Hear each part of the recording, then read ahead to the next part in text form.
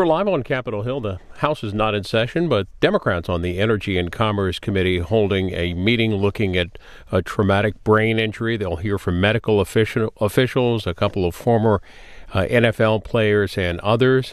And a discussion that's uh, set to last a couple of hours. We'll have live coverage here on C SPAN. It's about to get underway. Frank Pallone, the ranking member on the Energy and Commerce Committee, is leading the meeting.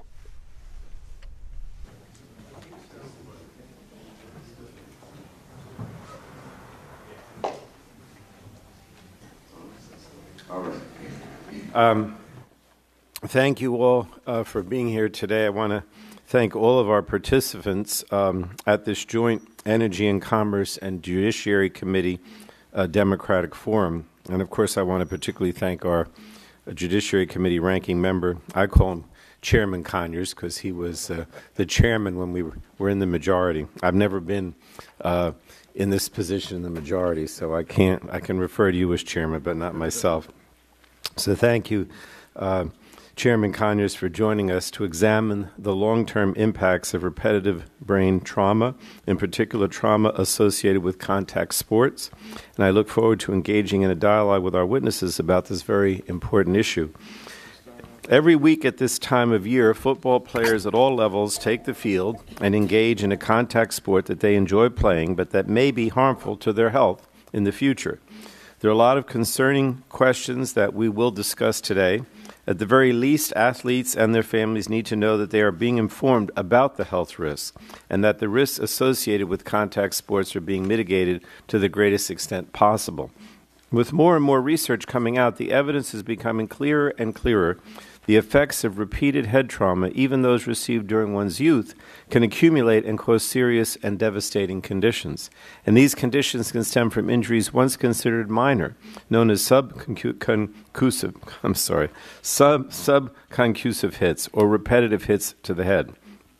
Boston University researchers, led by our witnesses today, uh, Dr. Anne McKee, Dr. Bob Stern, and Dr. Chris Nowinski have found that exposure to hits, regardless of whether a concussion occurred, is associated with a markedly increased risk of mood disorders like depression. And these researchers have also repeatedly found evidence of a linkage between head impacts and CTE, a devastating degenerative brain disease. Most notably, in a major study released this summer, these researchers examined the brains of 111 deceased National Football League players whose families chose to donate their brains to the Boston University program. And the study showed that 110 of the deceased players suffered from CTE during their lifetimes. I'm pleased that we're joined by all three of these researchers who are conducting critically important research. Their research must be considered by athletic associations and others, including Congress, as we look for real solutions to this devastating disease. And I thank them for their invaluable contribution to this area and look forward to hearing more today. Beyond this research, there are a number of unanswered questions about what risk factors make individuals more susceptible to these debilitating conditions. We need to understand what happens to the brain when it's hit and how many hits trigger these neurological effects.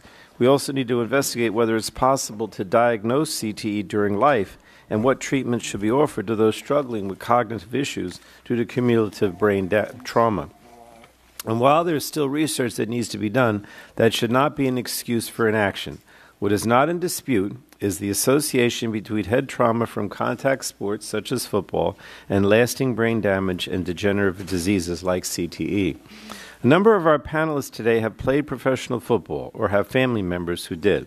And I want to welcome former NFL players Harry Carson, who I've met before, uh, DeAndre Levy, and Mike Adamle. We're also joined by Mr. Adamle's wife, Kim, Kim Adamle, and Dr. Eleanor Perfetto, uh, who was a widow of the late NFL player Ralph Wenzel. Uh, they have witnessed firsthand the long term exposure or the long term effects of exposure to repetitive head impacts. They can speak to the challenges they live with and have witnessed as a result of this trauma. And they can also speak to the concerns for the future and whether they believe they will be adequately supported by the NFL or other organizations as they face future challenges. And I'd also like to mention that we invited the NFL to attend, but they declined. The science has raised enough red flags about the dangers of repetitive head trauma that I think it's incumbent upon those who organize and promote contact sports to take every effort to make the games as safe as possible. That commitment must come from all levels of play, including from the highest level of football. Since the NFL recognizes the link between repetitive hits and brain trauma, they need to commit to supporting independent research, meaningful, meaningfully reducing the risk, and supporting players suffering from the effects of long term brain injury. So, this forum is critically important. It's unfortunate, however, that this discussion is not being conducted in a formal congressional hearing. Despite our repeated requests for a series of hearings on this subject last year, the Republican majority agreed to one hearing during the last Congress on concussions in youth sports, and that's simply not enough. But I'm hopeful that today's forum will, build, will help us build momentum for further action and discussion. I thank you again to all our witnesses for your contributions or for being here for this important discussion on traumatic brain injuries in athletics. And I hope we can all continue to work together to find the best ways to address this significant uh, public health issue. Um, I, am not going to mention the, the, the, my colleagues by name because they're uh, each going to be part of this uh, forum and discussion. But I do want to say that looking at the, the people that are up here, uh, my colleagues that are up here, really many of them have played a major role. Uh, in dealing with issues, so I appreciate the fact that they're here today. So let me uh, call on uh, rank. I call him chairman of the Judiciary Committee, Congressman Conyers, for an opening statement. Thank you for letting us use your room as well. Oh, you'll get the bill. Top of the morning, everybody. What a pleasure it is uh, to be here uh, with uh, our Energy and Commerce uh, ranking member, Frank Pallone, and all my colleagues in sponsoring this event. It's an important event, and it's taken a little while to get there, and we've got a long way to go. Today's forum brings together some of the nation's leading experts from the medical research and athletic communities to review the causes, effects, and treatments of concussions and other head trauma. In particular, the forum examines what is known about brain injuries, what gaps exist in scientific literature, and what is being done to address those gaps. The following year, the Judiciary Committee uh,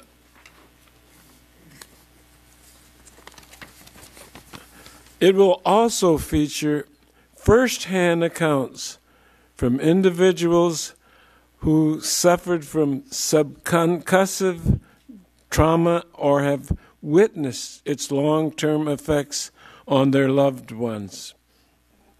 And that's why we have eight people, two, four, six. We have a. This is a, a very unusual forum, and I'm I'm glad of it.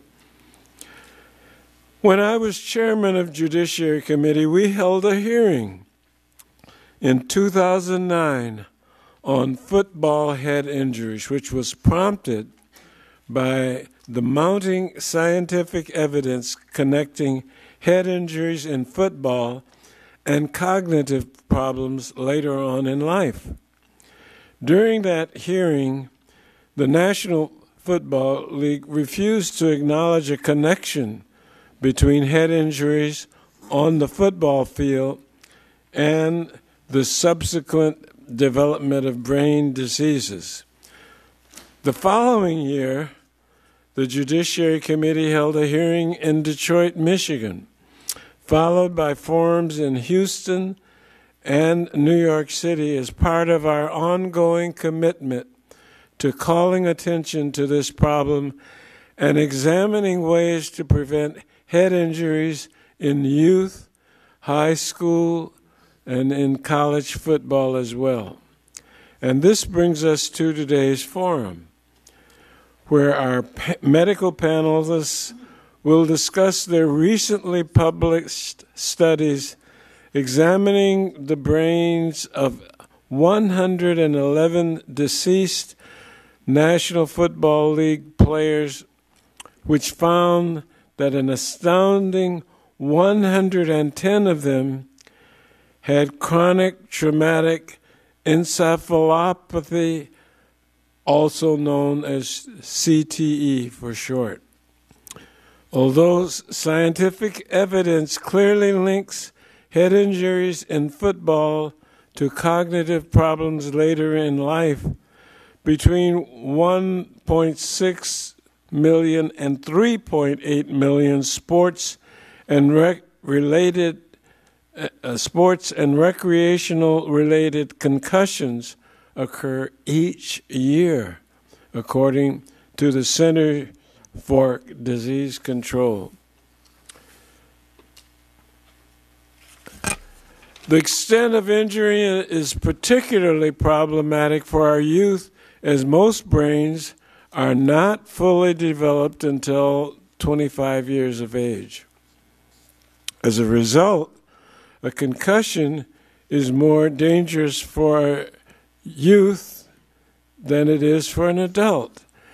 And so I hope the panelists today will provide guidance on how we can better protect all athletes, especially our young athletes. And I would be remiss if I did not briefly comment concerning the President of the United States' recent series of statements concerning our nation's professional football players. At his rally in Alabama on September 22nd, he mocked the National Football League's efforts to prevent brain injuries, declaring two guys, just really beautiful tackle. Boom. 15 yards. The referee goes on television. His wife's so proud of him. They're ruining the game. They're ruining the game. End of quotation. The President of the United States then went on to use the power of his and the Vice President's bully pulpits and Twitter feeds to rail against the right of private citizens to express their views and right to protest as guaranteed by, of course, the First Amendment's free speech protection. Ironically, uh, President Trump has not uttered a single word about the actual underlying issue the glaring disparities in how African Americans are dealt with under our criminal justice system and their treatment by law enforcement officers which have often had deadly consequences. These are problems, by the way, which have gotten worse, not better, uh, in my view, under the Trump administration and Sessions Justice Department of Justice Department. Now, today's forum will allow us to return to the actual facts and evidence and consider how we can best protect football players at all levels in an incredibly violent sport. And so I thank all the panelists and the members for being here today. And I turn it back to Mr. Pallone, my colleague and friend. Thank you, Chairman. Um, thank you so much for your comments, and again for uh, having letting us uh, have a place to have this uh, forum today. Um, I wanted to introduce the panelists, but you know, I, normally um, members of Congress get to make opening statements when they come to these uh, forums, and we're not doing that today because they've all agreed not to, in order so we could get to the panelists. But let me just at least uh, introduce everybody up here, if I could. Um, uh, first on my left is Jan Schakowsky. She's a member of the Energy and Commerce Committee. She's from Chicago, but she's probably done more on this issue than any other member. Um, I have to be honest. She's just been out uh, very concerned about this whole issue of concussion in sports and been out front on it from the beginning. Uh, to her left is um, Jerry McNerney from California, also a member of the Energy and Commerce Committee.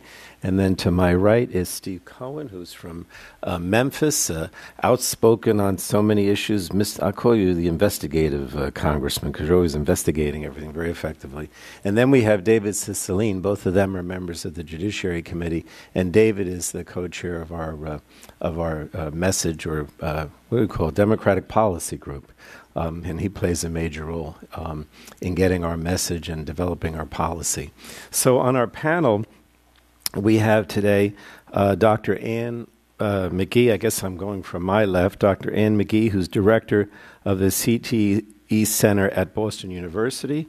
We have Dr. Robert Stern, who's director of clinical research for the Boston University CTE Center.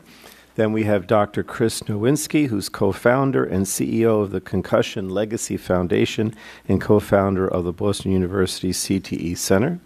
Then we have Harry Carson, who is uh, uh, a member of the Pro Football Hall of Fame and linebacker for the Super Bowl 21 winning New York Giants, who served as team captain of the Giants for 10 seasons. I guess you probably figured he's my favorite, so whatever. um, and then after that is, uh, is uh, DeAndre Levy, who was a starting linebacker for the Tr- Detroit Lions from 2009 through 2015. Um, and then uh, we have Mike Adamle, who was a record setting fullback for Northwestern and played for the Chiefs, the Jets, and the Bears before entering into a 40 plus uh, career in broadcasting, during which he worked for all of the major networks. And then we have his wife, uh, Kim Adamle, uh, who has supported um, Mike throughout his struggles with dementia, and she's an educational consultant and school psychology teacher with three decades of experience conducting cognitive assessments. And then last is Dr. Eleanor Perfetto, who's Senior Vice President of Strategic Initiatives uh, for the National Health Council, and she was the caregiver for her spouse, Ralph Wenzel, prior to his death due to CTE. So thank you all. You're all such experts and personal knowledge of uh, what we're dealing with today. Uh, I was going to start, uh, I, I, would like to have two people um, uh, start, and that's uh, Dr. Ann McKee first, um, if you would uh, make a statement. Thank you, uh, Ranking Member Pallone, Ranking Member Conyers, and distinguished members of the committees. This is a, a, great honor and a great pleasure to be here, and I'm going to try to summarize the work that we've done on CTE as well as discuss uh, two of our recent papers, and then Dr. Stern uh, will discuss his uh, research and his recent paper. Uh, so, the first question is what is CTE? CTE, or chronic traumatic encephalopathy, is a progressive neurodegenerative disease found in athletes and military veterans with a history of repetitive head trauma, including concussions and asymptomatic con- subconcussive hits to the head. CTE is increasingly recognized as a potential risk for athletes participating in contact sports such as American football, but also soccer, boxing, and ice hockey. Military veterans who are exposed to explosive blasts are also at risk for CTE. CTE is characterized by the buildup of an abnormal protein called tau in nerve cells and nerve cell processes in a unique pattern in the brain. CTE gradually interferes with normal brain functioning and may lead to changes in behavior such as impulsivity, explosivity, and violence, changes in mood such as depression and hopelessness, and cognitive changes such as memory loss and cognitive decline. At the current time, CTE can only be diagnosed after death by examination of the brain, and there are no known treatments for the disorder. Also unknown at this time is the exact prevalence of CTE in amateur and professional and contact sport athletes as well as military veterans. Given that millions of contact sport athletes and military service members are exposed to repetitive head trauma every year, CTE has become a major health, public health concern. Over the last nine years, there have been many advances in our understanding of CTE. My colleagues at VA Boston Healthcare System, Boston University, and the Concussion Legacy Foundation developed the largest brain bank in the world in, in 2008 to study the long term effects of exposure to repetitive head trauma and CTE. The VA BU CLF Brain Bank now contains the brains and spinal cords of over 450 athletes, military veterans, and civilians who experience repetitive head trauma. We've diagnosed CTE in over 280 individuals and published the clinical and pathological features of over 70% of the confirmed cases reported worldwide uh, since CTE was first identified in 1928 by Harrison Martland and first named chronic traumatic encephalopathy by MacDonald Critchley in 1949.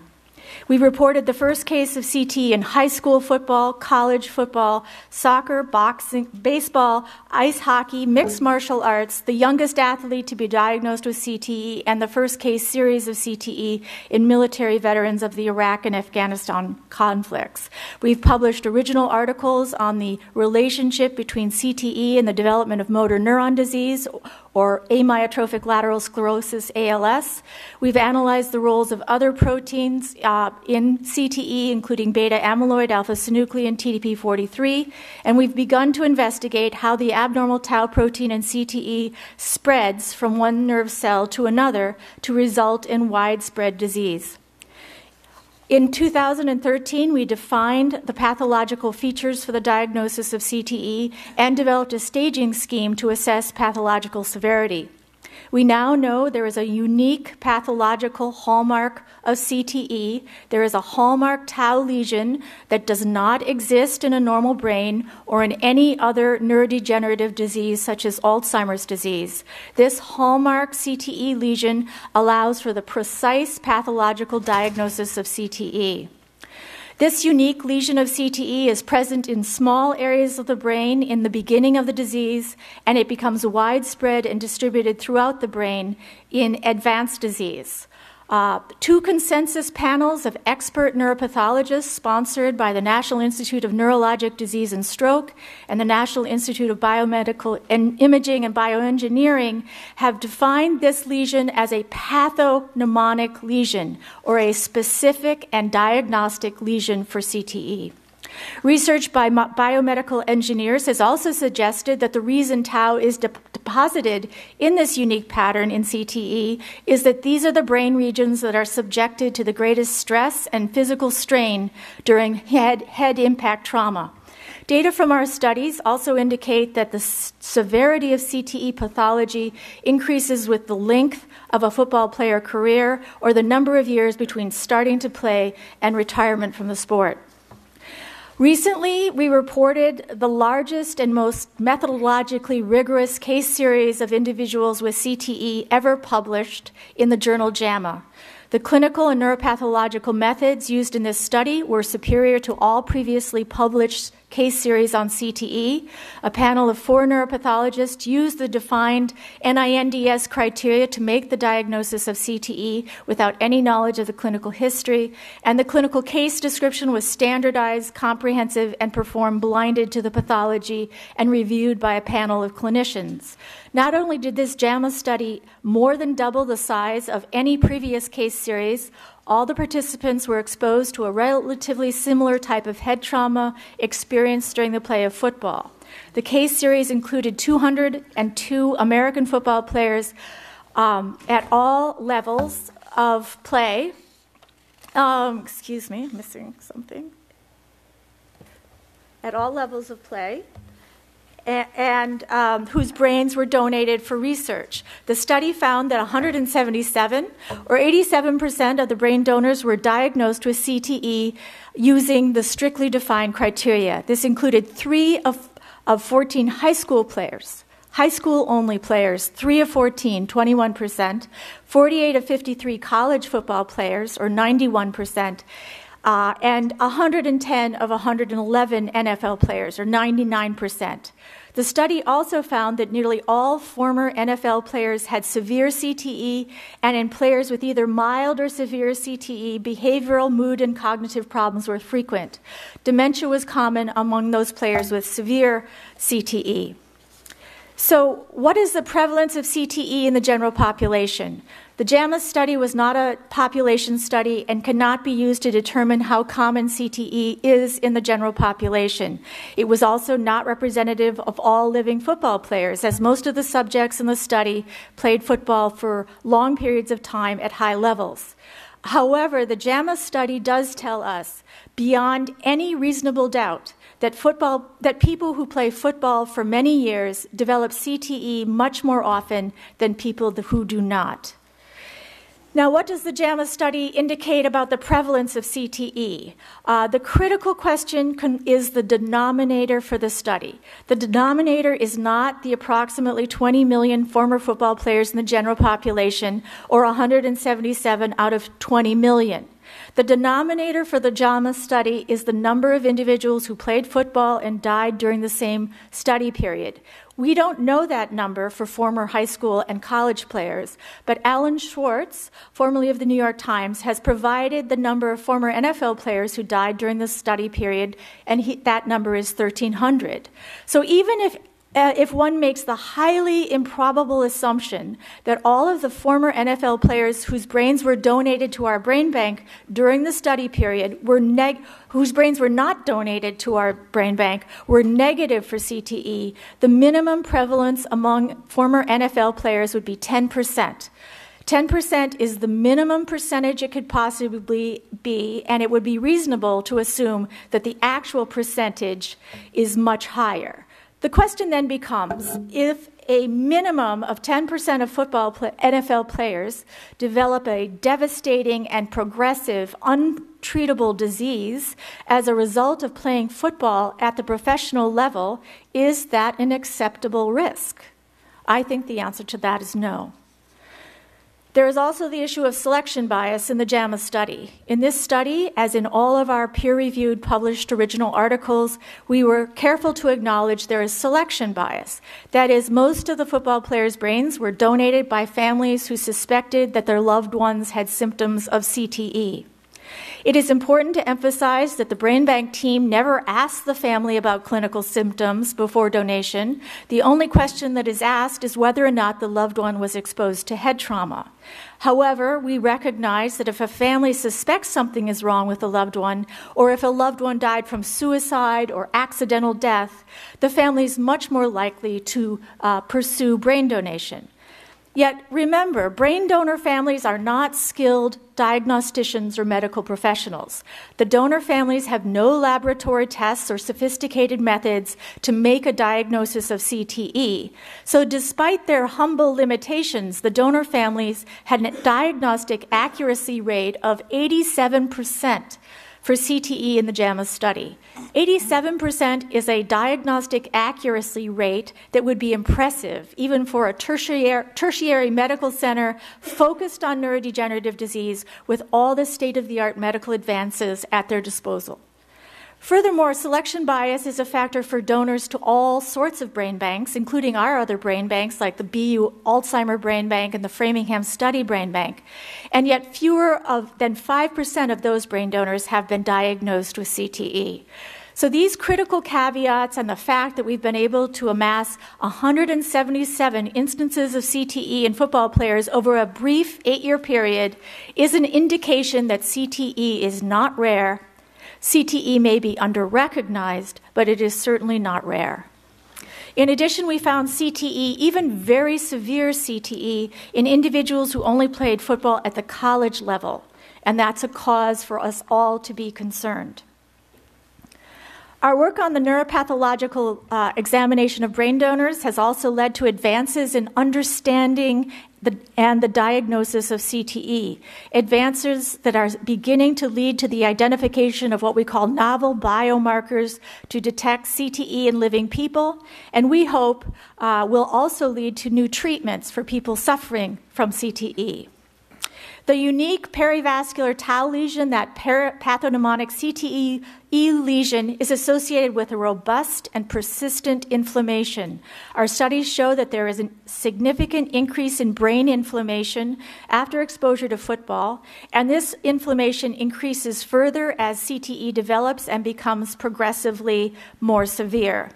In September uh, 2017, my colleagues and I reported in the journal PLOS One that the inflammatory cytokine CCL11 was elevated in the brain tissue of former college and professional football players compared to non athletes with Alzheimer's disease and non athlete controls.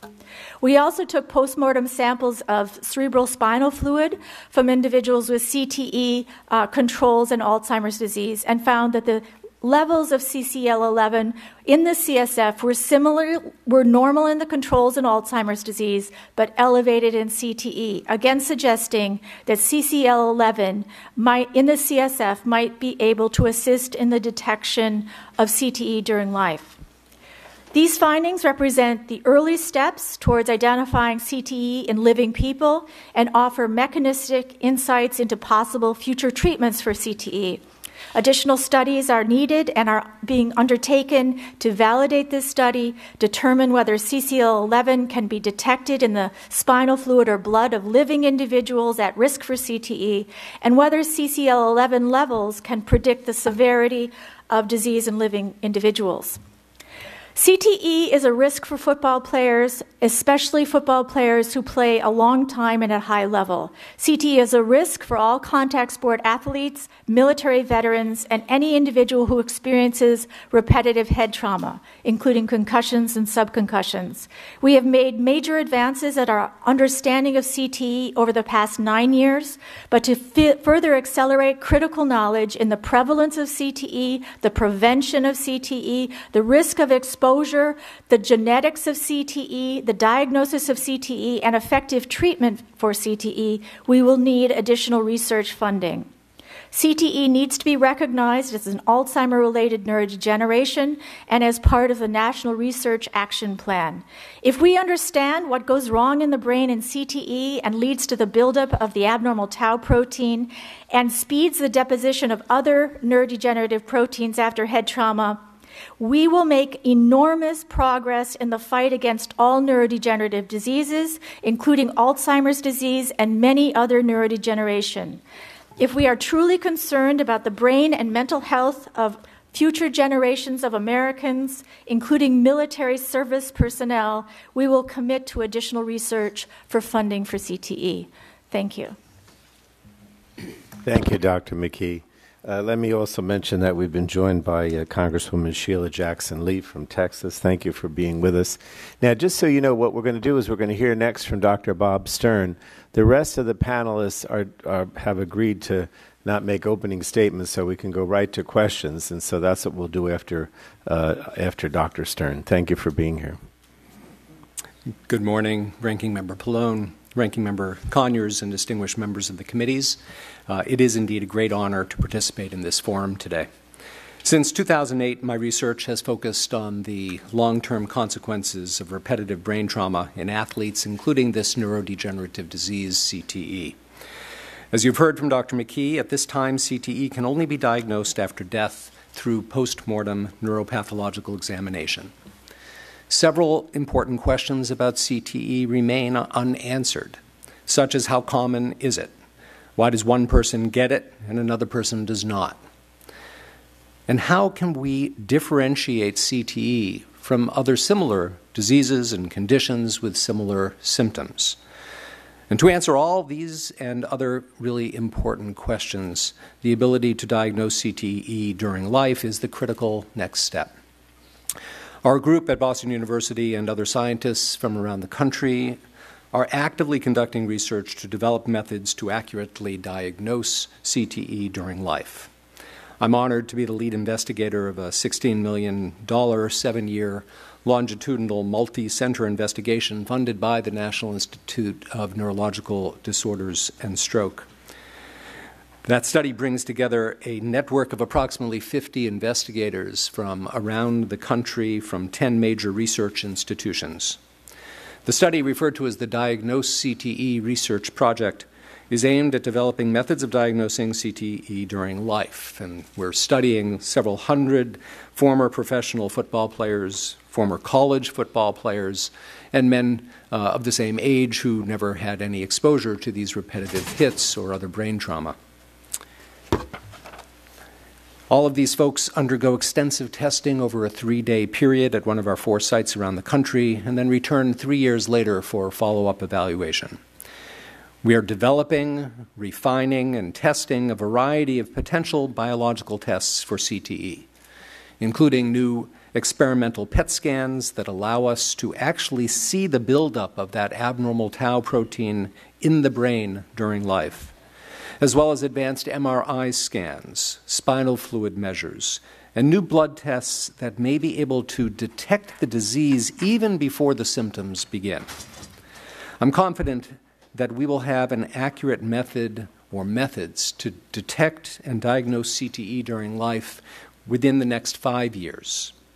However, we cannot wait for the availability of these tests to begin to examine who may be at greatest risk for this devastating disease. Previous research shows that the brain undergoes key periods of development and maturation during childhood. And several brain structures and functions of the brain reached their peak development during the period leading up to age 12 in boys. Therefore, our group has conducted a series of research studies to examine if there may be a period of vulnerability during which exposure to repeated subconcussive trauma through the routine play of tackle football may result in later life neurological abnormalities. Three of these peer reviewed studies involved former NFL players between the ages of 40 and 69. We found that the former players who began playing tackle football prior to age 12 had significantly worse memory and other cognitive functioning, as well as abnormal MRI findings compared to those who started to play at age 12 or older.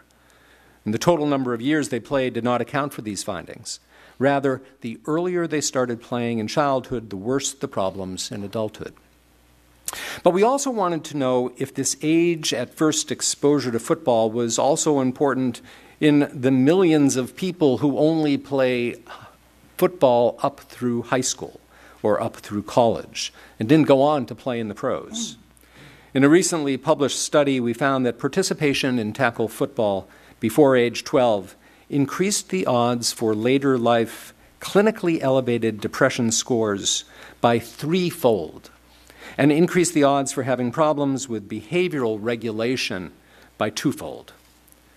These findings were independent of the total number of years the participants played football through their life or at what level they played through, such as high school or college or the pros. In addition to the age of first exposure to tackle football, we've examined the relationship between the estimated total number of head impacts someone sustains playing football and later life problems. In a study published earlier this year, we found a strong dose response relationship between the estimated total number of head impacts experienced through youth, high school, and college football, and the risk for developing cognitive, mood, and behavioral impairments later in life. In layman's terms, the more hits to the head a football player received, the more likely they were to have impaired thinking skills, as well as depression and behavioral regulation difficulties decades later. Now, it's really important to note that participation in sports and athletics during childhood can have many important benefits, including the development of teamwork, self confidence, and social skills, not to mention the tremendous health benefits from exercise. Therefore, the goal should be to make sure that children can take advantage of all the benefits of sports participation without the risk of brain related difficulties later in life. That's a difficult balance and requires a combination of unbiased scientific information and just plain common sense.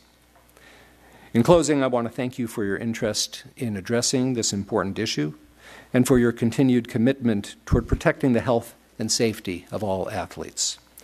I also want to express my gratitude toward Congress in general for continued support of NIH funding, but also to underscore the need for expanded funding for brain research. Thank you.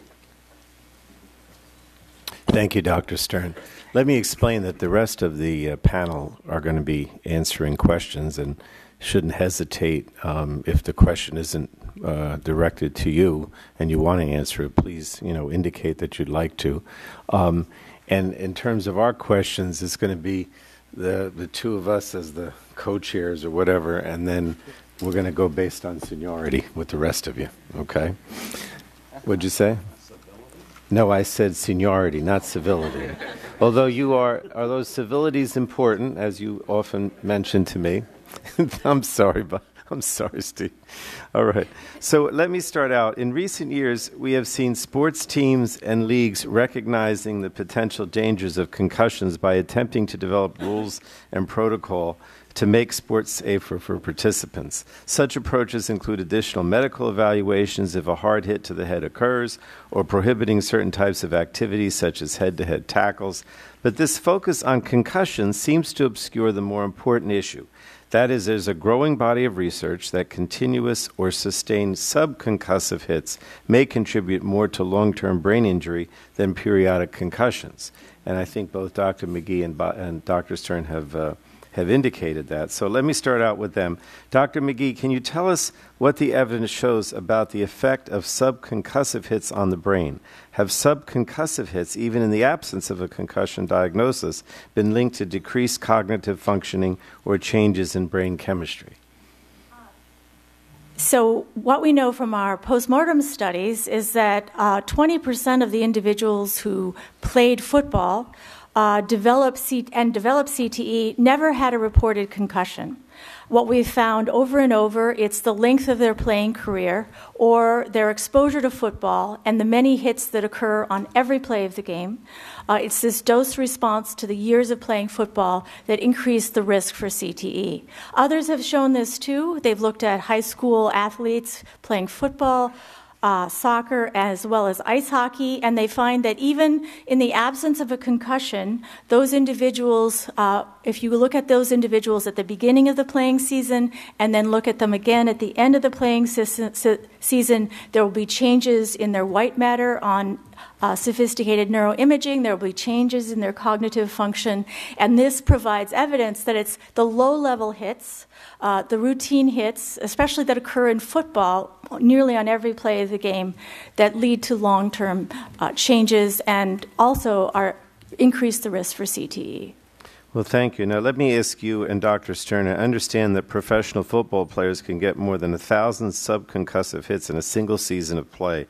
According to some estimates, players get hit hundreds of times per season, even, even at the youth and high school level. So, even if a football player is never diagnosed with a concussion, why should we be concerned about this volume of subconcussive hits? Either one of you, Dr. Stern. Let's let's make it even, bring it down to the youth level.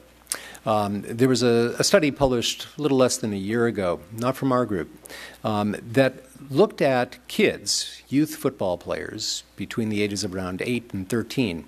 And they put accelerometer gizmos inside their helmets to measure the number and, and severity of the hits that they got. But all those kids also had MRI scans done before the season and after the season. And they took out any kid who had a diagnosed concussion so it was only looking at the routine play without anyone who had a concussion.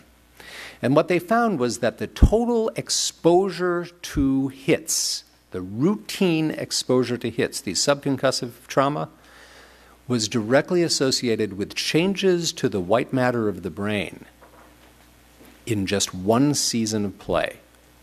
That's the little kids. There's been multiple other studies looking at high school students, college students, after just one season of play, alterations in the structures of the brain, in the functioning of the brain, in the cognitive functioning. That's just the immediate short term complications. But as Dr. McKee has pointed out, later on in life, we see both in living players and also in the deceased players that Dr. McKee examines that there's this relationship between the total exposure to playing football and when we try to estimate the total number of hits, between those number of hits they've received throughout their life and even changes in blood tests of tau, and changes in the MRI, and especially problems with thinking and memory. Now, what about the connection between these subconcussive hits and CTE? Either of you want to answer that? Uh, well, again, it's the same. It's really what we're finding is a dose response, uh, best measured uh, as number of playing years. That the longer you play football, the higher your risk for CTE, and the higher the severity of the CTE. We're still we're working on this risk profile. That's something that we think is uh, immediately you know, very important uh, in terms of developing some guidelines for length of play that might be safe and when you're heading into a more high risk category. But we're not there yet. Now, I don't know if you can answer this, but uh, the concern, of course, is you know subconcussive versus concussions. In other words uh, how do they compare in terms of the risks in a, in a sport like football? Or can you can you answer that? Uh, it's really important to understand that there there isn't a very clear diagnosis of what a concussion is. It's a clinical diagnosis at this point. There's no test that specifically says this person's had a uh, has had a concussion. And so there's this continuum of what's going on in the brain and in the brain cells that result in the symptoms that are associated with concussion that leads to the diagnosis. If you don't have those symptoms, you can't be diagnosed with a concussion at this point. But that may still be doing something to those brain cells, whether temporarily or with enough of them, one after another after another, it may lead to long term consequences. And then it's possible that somebody who never had a concussion but just played one season because of the number of subconcussive hits could actually uh, have significant changes to their brain, I guess, huh? You know, one season of play, I, am not that concerned about. I, I, we don't know, though. We just don't know. But uh, the combination of the duration that someone plays, the number of hits they get while they're playing, based perhaps on the position that they play, the age that they started, all those things come together. We're trying to figure out exactly what that, that magic combination is that leads to later life problems. All right, lastly, Dr. Stern, your group recently published a study concluding that participation in tackle football before age 12 greatly increases the risk of developing cognitive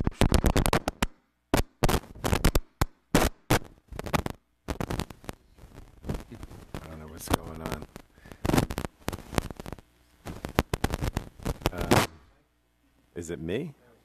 Bad microphone somewhere. Jerry Jones. oh, we'll try again.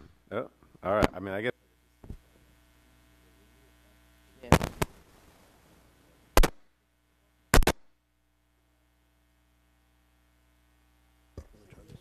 Is that one?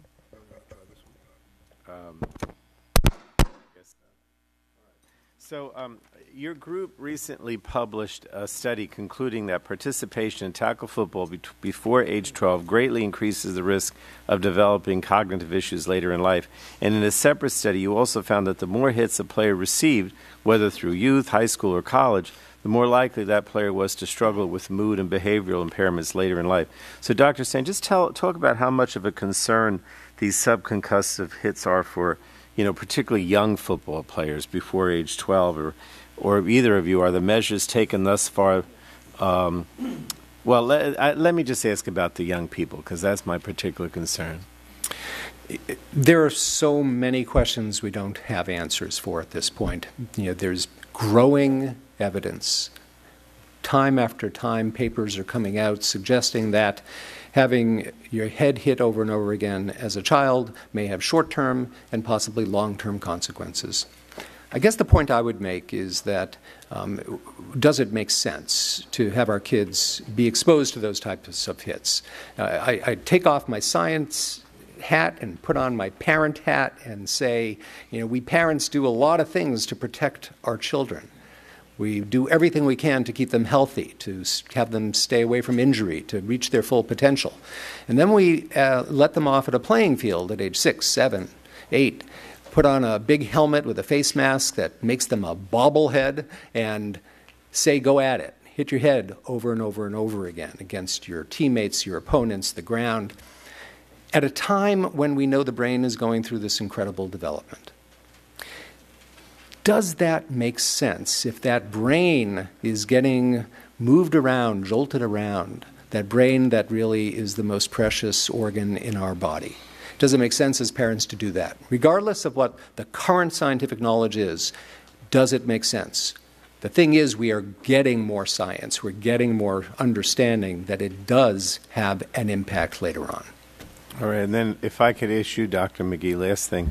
Are there measures taken thus far by the NFL enough to reduce the risk to professional athletes posed by these repetitive hits to the head? Well, so the issue is with the NFL, there's been such a focus on concussion and concussion awareness, and all, and all of those efforts are, you know, to be uh, uh, applauded.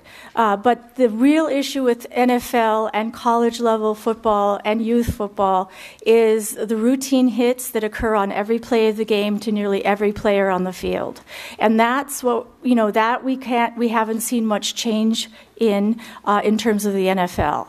We need to really think about uh, keeping contact fully out of practice. We need to reduce head hits by stylistic and behavioral changes to the game. We actually need to start thinking about some very uh, uh, uh, severe changes to the game so that the players wouldn't be having collisions and tackles on every play of the game. That's the issue in football. Uh, collisions, tackles, and subconcussive hits are an intrinsic part of the sport.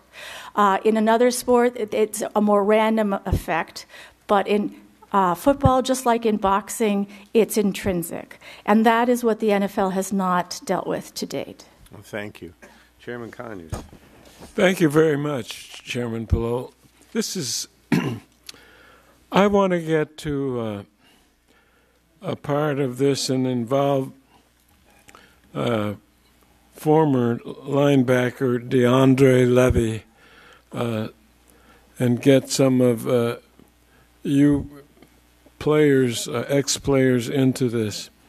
Um, you stated uh, in a uh, Detroit Free Press letter that you believe that football players are, quote, almost numb to the risk of CTE because it's part of the job. I think we as players have to acknowledge it and talk about it in a real way and demand answers.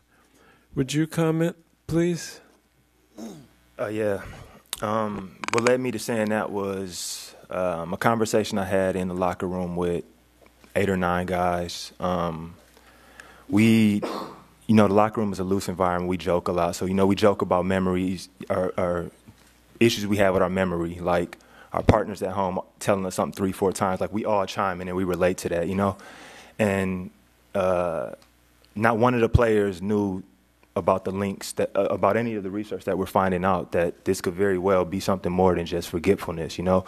And um, I put a couple guys to the side and we talk about some of the emotional issues we have, some of the mood swings, some of the highs and lows that we just come and go. And I think a lot of times um, we use football kind of as the guard and you know maybe say okay this is just a part of the season. This is just a part of something that's it's just normal. You know we think it's normal because that's just i don't know that's just how we operate. Football is kind of a different culture but uh, I, I, it bothered me that not one player knew anything about the cte research.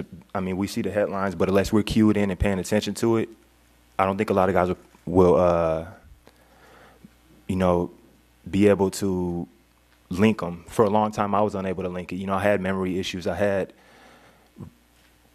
times during the day, during the week, where my mood just switches, and I don't know why, and I can't control it. I can't come out of a funk. It's like a fog over me. And a lot of guys, I think, have the same issue, but they don't know how to link it. And you know, we don't talk about emotional issues. Uh, uh, you know, for the most part in the locker room, a guy isn't going to come in and tell you that he's feeling depressed or he's feeling anxious or he's feeling sad, and he doesn't know why. Um, and do, do you think that? Uh, players are aware of the risk uh, associated with playing football? I think we're aware that we'll have bad shoulders, we'll have bad backs, we'll have bad knees. I think a lot of us kind of know that that's par for the course. I think, speaking for myself and just conversations I've had with guys that have played professionally, high school, collegiate, I think for the longest, um, a concussion to us was just a headache it was a headache that if you can play through, you're good. Once it's gone, it's gone, you know? Um, and I think a lot of guys still have that mentality and still think about it.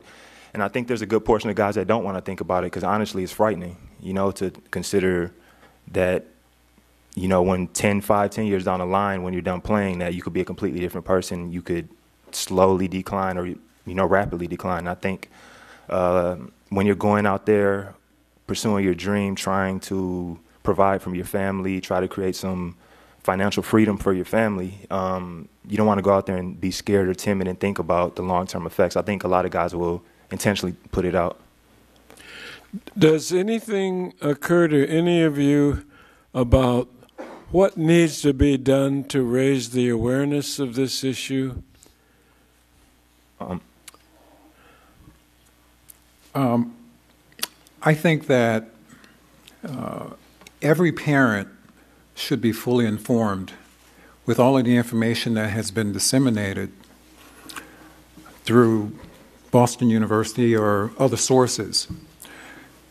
They should be uh, informed as to what risks they are subjecting their kids to any football player that you ask, or anyone who has played football, because I'm I'm sort of a little different. I I played football, but I was never really a football player, and so I've always sort of looked at my life as something. You know, football is something very very temporary, and um, the the issues that are there uh, are are issues that um, start when you're young parents should understand that uh, there's a there's a physical risk that you assume.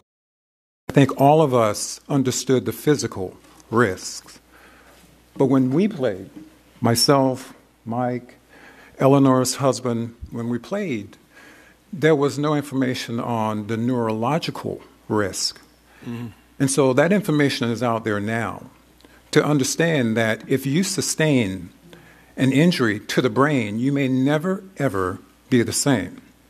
As players, we knew that we could possibly down the road after playing have to have knee replacement surgery or hip replacement or shoulder replacement surgery. But when you injure the brain, you can't replace the brain. And so you're dealing with um, issues of the brain, and the brain is really the most complicated organ in the body and you don't know what's going to happen. Uh, you know, once you are removed from, from playing the game. And you are so far removed from whether it's Pop Warner, whether it's high school, whether it's college, or even the NFL, once you're removed from the game, who do you complain to?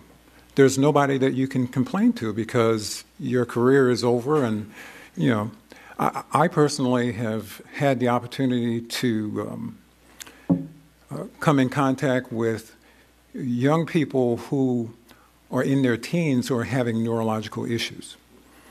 Young people who played high school ball and now they're in their 20s and they're having neurological issues. Individuals who never even got to the NFL who are having neurological issues having played the game. So the issue, while we focus on the NFL, is more widespread than anyone really knows. And I, I think that, again, every parent should uh, know exactly what they're signing their kids up for.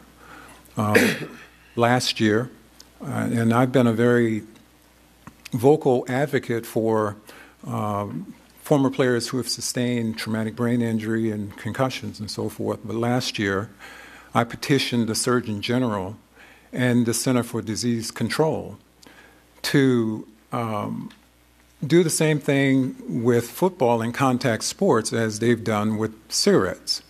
And that is put a warning on the consent form so that they'll know exactly what they're signing their kids up for. So, what might it say? Uh, uh, understand that your child or the participant uh, could be subject to some kind of neurological injury that might affect them for the rest of their lives. Mm-hmm. Now, let me ask my final uh, question. Uh, what advice would any of you on this distinguished panel give to parents who may not be here today or may not be getting in on this hearing?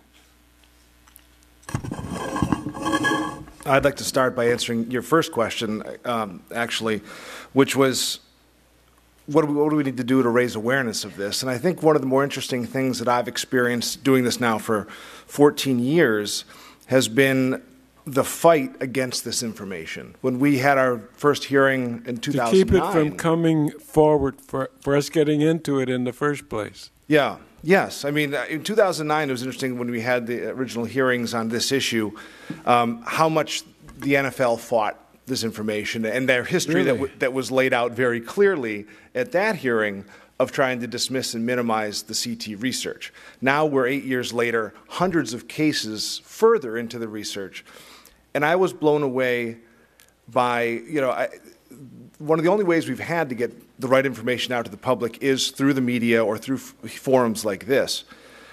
Families aren't getting it through football. I think what DeAndre said shocks to me that we're so far into this and the players still don't know. Um, right? But also, parents don't know. So I think, you know, in response, I mean, and I'm, I'm going to pick on somebody because they went on record on this. I was surprised in response to Dr. Stern's recent study on youth football, the way that Pop Warner fought this with dishonest statements. Not with truth, not with we still don't know, but with actual factual dishonest statements.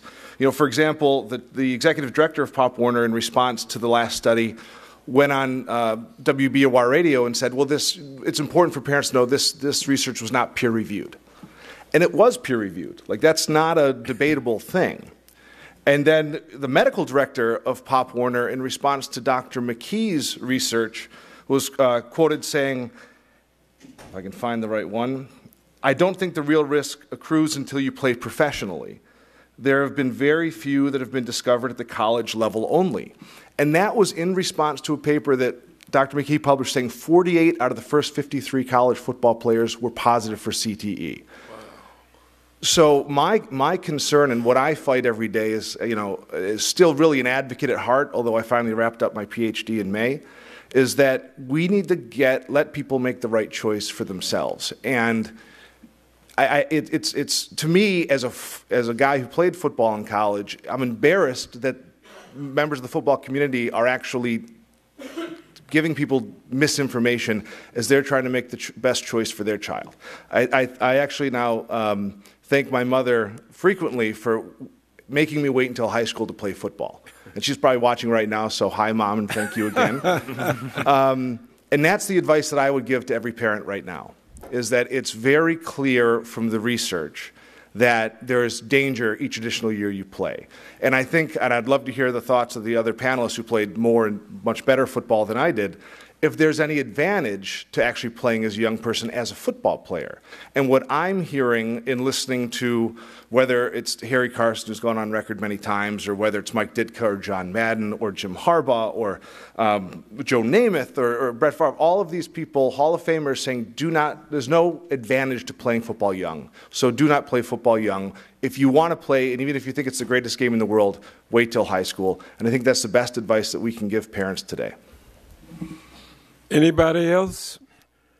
Uh, yeah, just following up on that, um, I agree. Um, I think you can develop your child's skills without football. If, if you love football and you want him to play football, and you can develop their skills without putting on a helmet and shoulder pads. You know, you can play flag football, sign them up for soccer. You know, there's ways that you can develop them and get some of the great benefits of sport without, you know, the neurological damage. And um, there's there's no benefit for it from putting on a, a helmet on a seven year old. Um, if, if, they maintain that interest and they, that drive that it will take to even reap any benefits of football, they have to maintain that through, you know, taking it away at six. And when they are reintroduced maybe at high school, senior level, if they still have that interest, then all right, we can maybe talk to them then. But the, the amount of work and hours and energy that it takes to get a scholarship, if that's like the first checkpoint in getting something from football and then playing professionally, I think the energy, time, and uh, just sheer,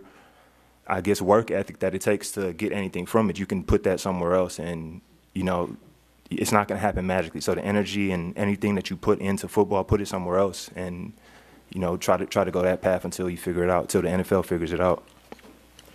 Thank you all for your comments, and Mr. Chairman, I yield back. Thank you, Mr. Chairman. You know, I. Oh. Hand went up. Talk to the players still, or Yeah. Oh, you can say whatever you want. Sure, go ahead. That's why you're here. um,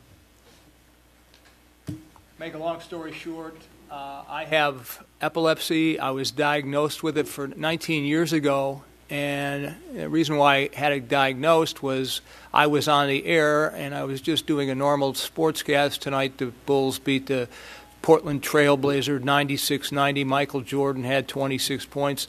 The next thing I know, I felt like this wave coming over my body, and the next thing after that was I went in my room uh, and my shirt was dripping wet. I went to a neurologist, uh, the preeminent guy in Chicago at the time.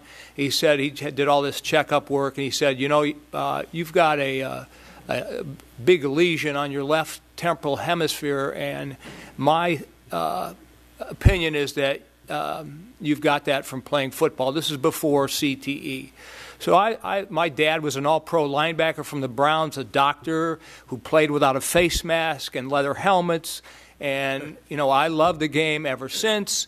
Um, you know, having having what we, you know, players who played, you know, in the 80s and early 90s, you know, we talked we talked about uh, getting knocked out in concussions as dingers. It was the red badge of courage, yada, yada, yada. I played on special teams. Coaches loved the fact that we left over the pile of players that were trying to block us and then hit the receiver with our heads, and the guy would blow up. We'd slap each other the high five. Coaches would come over and hug you uh, for doing this great thing. So a lot of guys didn't know what the hell was going on. And it wasn't until yeah. two years ago that I went to the doctor again just to get a routine. Uh, check up on the epilepsy, and he said, Yeah, we we think we have that under control, but we've also found out uh, just looking at some of these, uh, te- uh, whatever, you know, um, MRI, that uh, your, your epilepsy looks like it's you know going down, but we've also think that you have uh, a lot of symptoms that are current with CTE. And I jumped up and I said, Hey, wait a minute. You know, not, you're not supposed to be able to find us until, you know, we're dead. So I don't want to die right now. I got a kid and families. Tell me what I can do. And they gave me a whole list of things and basically athletic and eating food and the right stuff. And if I have another bite of kale, I think I'll puke. Um, but, the, but the real thing here is I see, I can feel the decline every single day practically. You're going around like this and then the next thing you know, you drop down a little bit. You're not as sharp as you once were, and then you drop it down a little bit, and you start to get scared. And when you get scared, uh, a lot of things happen. And my wife, who knows all about this, she's got the credentials, and um, she sees, and this is something that nobody's really talked about, is what happens. Guys who played in their in the 80s and who are over, you know, 40 years old, whatever.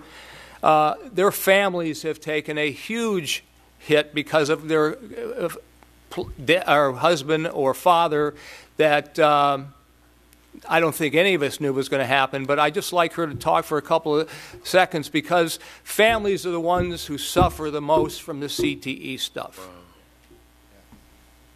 Go ahead, Kim. Thank you. I, I, should say my wife always tries to feed me kale too, and it really stinks. Go ahead. I put it in a smoothie. He doesn't know the difference. Um, no, thank you for this opportunity, and and I'd like to also state that uh, I would, if I may, speak for the thousands of families out there. I'm part of a group of women, NFL wives.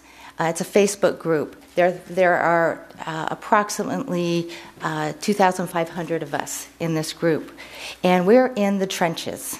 Uh, we're just beginning to learn about CTE, what it is, what does that mean, what are we supposed to do, but we're in the trenches. We've been living it. And uh, our men, our husbands that we love, have been demonstrating these bizarre behaviors and symptoms for you know 12 to 15 years, and we haven't known what was going on. Um, many of us experienced a great deal of um, major catastrophe, chaos, and loss in our families. If you look at statistics, the divorce rate for NFL players is 75%. I think in the general public it's something like 51%. In our group, we talk about it, and you'd be surprised at the number of us who divorced. And yes, Mike and I did divorce at one point when his symptoms became so severe and we didn't quite know what was going on. Our lives were torn apart. But how many have divorced and now, finding out what's actually going on, have reunited? It's partly out of understanding what happened, and understanding that the love wasn't gone and this was out of our control, but it's also partly out of the fact that these men need us. They are not able to live on their own. And so we have had to become, in the trenches, in our family, day by day, we've had to become the primary breadwinner. We've had to take care of our men. Um, I, I, can talk more about that in specifics because we're hearing the facts and what's going on in the brain, but how that translates to everyday life is um, um, pretty catastrophic, pretty traumatic. Um, we have to we have to handle all the medical affairs, all the scheduling of appointments. Their medical needs are huge. The the the med- number of medications alone, and so you're handling not only the day to day of taking care of the man, but you're also managing the systems, the medical systems, the insurances, the disability, getting the pensions in place. Now we have a lawsuit. We have to know the law. The lawyers don't know what's going on with this case. And, and so the wives are doing their best to navigate the system, to network, to share what we know, because everybody wants a part of this. Out of the thousands of cases that have been filed in the settlement, the case action suit, approximately 100 have been um, paid out.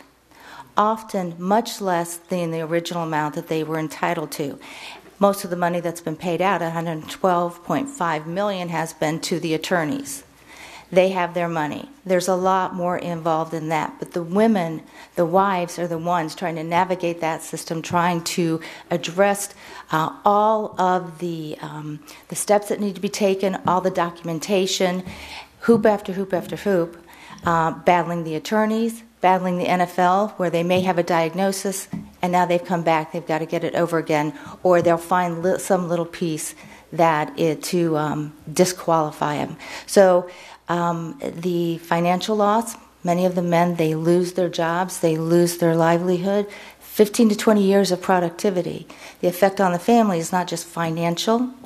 The children have to watch their father decline. They see their father in rage. They see their father become aggressive many times to, to the wife. They see their father unable to carry on a, a, a conversation. Um, they see them restless. Um, my girls, um, one, um, our one daughter, um, Mike and I adopted in 2004 at the age of 13 from an orphanage in Ukraine. Horrible, horrible circumstances that she came to be in the orphanage. She thought she was finally safe and in a family. A little over a year ago, she moved out and she told me, Mom, I cannot stand to watch another parent die. And she was gone for a year and didn't come back. She's now come back. She's handling it. Our youngest daughter has become um, more of a, a friend and a bit of a caregiver to her dad because Mike has difficulty with everyday living things. He's the, he's the most intelligent man that I know. And he just had recent testing again his word knowledge is superior. He was, uh, you know, on the air. He's, he's amazing. He's brilliant. He's, he's charismatic. He retains that. He had a huge cognitive reserve, his, his bank account of, of knowledge and you know, expertise. But in the areas of everyday living, the executive functioning is huge. The executive functioning is just everything we do is a series of decisions and, and sequences and organization. Those are the very things that are gone. And Mike in his testing over and over is down in like the first percentile. There's none. Turning on the TV, operating your phone. He loses everything. And Mike, I'm sorry, his zipper's always down. So it, it's over and no, we're going to draw the line. Sorry, honey. I'm sorry. This is, this is real stuff. But um, I could go on and on. The devastation is huge to the families. These children have been affected uh, where they go to college, if they can go to college, where they live. Many of us have lost our home, have had to downsize, and the wives are trying to hold it all together. So, um, we need to be heard.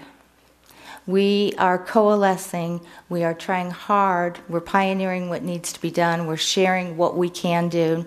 Mike and I, um, through the Concussion Legacy Foundation, were honored to be um, um, the ambassadors of uh, the Mike Adamle Project Rise Above. And it's where what we're doing is we are trying to give hope um, and inspiration to the families out there, as well as the affected players, of, of what you can do. Um, we don't have a cure, so how do you live with it? How do you live with it with dignity, with optimism, with energy and excitement, and with a sense of purpose and contribution? Well, we're so glad that you're here with us. Thank you, Mr. Chairman. Uh, thank you, Chairman Conyers. Uh, next, we're going to go to uh, uh, Congresswoman Schakowsky. Oh, did, are you okay with that? Yeah. Okay. I hope I don't. Can you? You can hear me? Okay.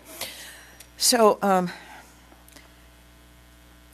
March 14th of 2016, I came to a roundtable, um, and I had prepared questions from my staff. This was with the NFL and the Energy and Commerce Committee. And I asked the question first of Dr. McKee and then of Jeff Miller from the NFL, who's head of uh, health and uh, welfare of the of the league, and um, I said, "Is there a connection between C- CTE and football?" And I guess for the first time, um, he said, "Oh yes, of course, there's a, a connection." I had no idea what kind of explosion there was outside um, on, on this, and and and the other thing I didn't understand is the power of football. We're talking about a multi million dollar, multi billion dollar industry. Um, when it comes to um, college, um, you know, th- this is the way some schools survive through, uh, through the, the revenue of, of football. It's not just the money, though, it's the culture um, of, uh, of football, the Friday night lights in small towns around the uh, around the country. Um, you know, we've we still hear from the president about you know the good old days when there was violent, more violence in in football, um, and I, I, so I'm really new to this. Uh, the, new to the game and proud to be part of the team, but John Conyers held a hearing in, in 2009, and research has been going on for uh, a, a, long time. And, you know, I, I'm, I'm just so grateful to all of you, to advocate, to researchers, and especially to the players and families who have such incredible courage because I feel like, and you can correct me if I'm wrong, that you're kind of bucking this huge empire out there, which is, uh, which is football. Um, I, I, do want to um, make sure that, that we give an opportunity um, um, to Dr. I want to I can't see it from here, but um, Dr. Perfetto, is it? Yeah, to to to have your your words too. But here's what I, I really want, and, and I really love the idea, Mr. Carson, about um, a, a uh, warning on you know the uh, allow it when you allow your, your children to, uh, to to play the game to understand what the consequences could could be. So first let me ask Dr. Perfetto to I'm sure you came here with a message, but but then finally I want to say what has been your experience with football both you know and, and mike by the oh i just want to say too that i'm from uh, chicago. I live in evanston. Uh, mike i remember well when you were at uh, northwestern and, and with the bears and on and on television. Um, I just want you to know that in a survey of 87 schools in the, air, in the Chicago area, there are 2,549 less football players than there were in 2008 at the high school level, almost a 20% decline. The biggest year drop came in 2016, eight months after the movie Concussion came out. Whitney Young Magnet High School, you may know about Whitney Young, um, canceled the remainder of its football season this year because it didn't have enough uh, uh, enough players. And you know, you know, Mike Ditka would tell his kids, uh, "You ought to think about golf." Um, and and so, I, but I, I just wondered, wh- what have you encountered bumping up against football um, in, in your struggle to get the, the, the word out. But, but first, Dr. Perfetto. Thank you very much. And I really want to thank uh, Member Conyers for the, the hearing that we had in 2009 because, in my view, it was a very pivotal point in changing the direction of this conversation, and it really made a difference. So, thank you for that. Um, I uh, am in a different position than I was in in 2009. That time, my husband was still quite ill. He was in a long term care facility being cared for, and my husband passed away in 2012. But we struggled with the disease for almost 20 years. At first, very much like the story that you heard, not having any idea what was going on. And then later, finally getting a diagnosis in 1999. He had to go into long term care in 2007 because I could no longer care for him at home. And in 2012, my husband died. This is a man who spent most of his life. He was six foot two, uh, roughly 225 pounds for most of his life. He was, had been 250 to 275 when he was playing football. When my husband died, he weighed 145 pounds. His brain was half the size that it should have been for a man his size and age. His brain was functioning as Ann, Dr. Ann McKee estimates at the level of about a one and a half year old. For several years before his death, he could no longer stand or walk he could no longer feed himself. He was being completely taken care of by the caregivers at the home and by myself. We fed him every bite of food that he ate for several years. So I think if, to, to understand the progression over time and the magnitude of what happens to an individual. You know, if, you, if, if I had answered the question earlier about what should parents be doing about having their child play football, they absolutely should not be having their child play. Why don't you just push your child in front of a moving car? I mean, that's the impact that we're talking about here. So, when you see the progression of the disease over time, when you see the devastating impact that it has on an individual, on the spouse, on the family, and when they get to be disabled on our Medicare system, because that's who's paying for a lot of this after when, when all of these testings and thing, things are being taken care of. And then uh, another part, uh, just to add to that to the to the aspect of Medicare, um, once you um, get to that point where we are in this lawsuit against the NFL, um, you do manage you get you do get a letter that says we've been notified that you're one of the the um, uh, the people who might be getting a settlement from the NFL. And oh, by the way, all that Medicare money that was paid, we'll be taking that all back. I believe rightly so because Medicare did pay for all of that, but it means that the families who need that money will get far, far less because insurance companies and the Medicare system will be taking all that money back.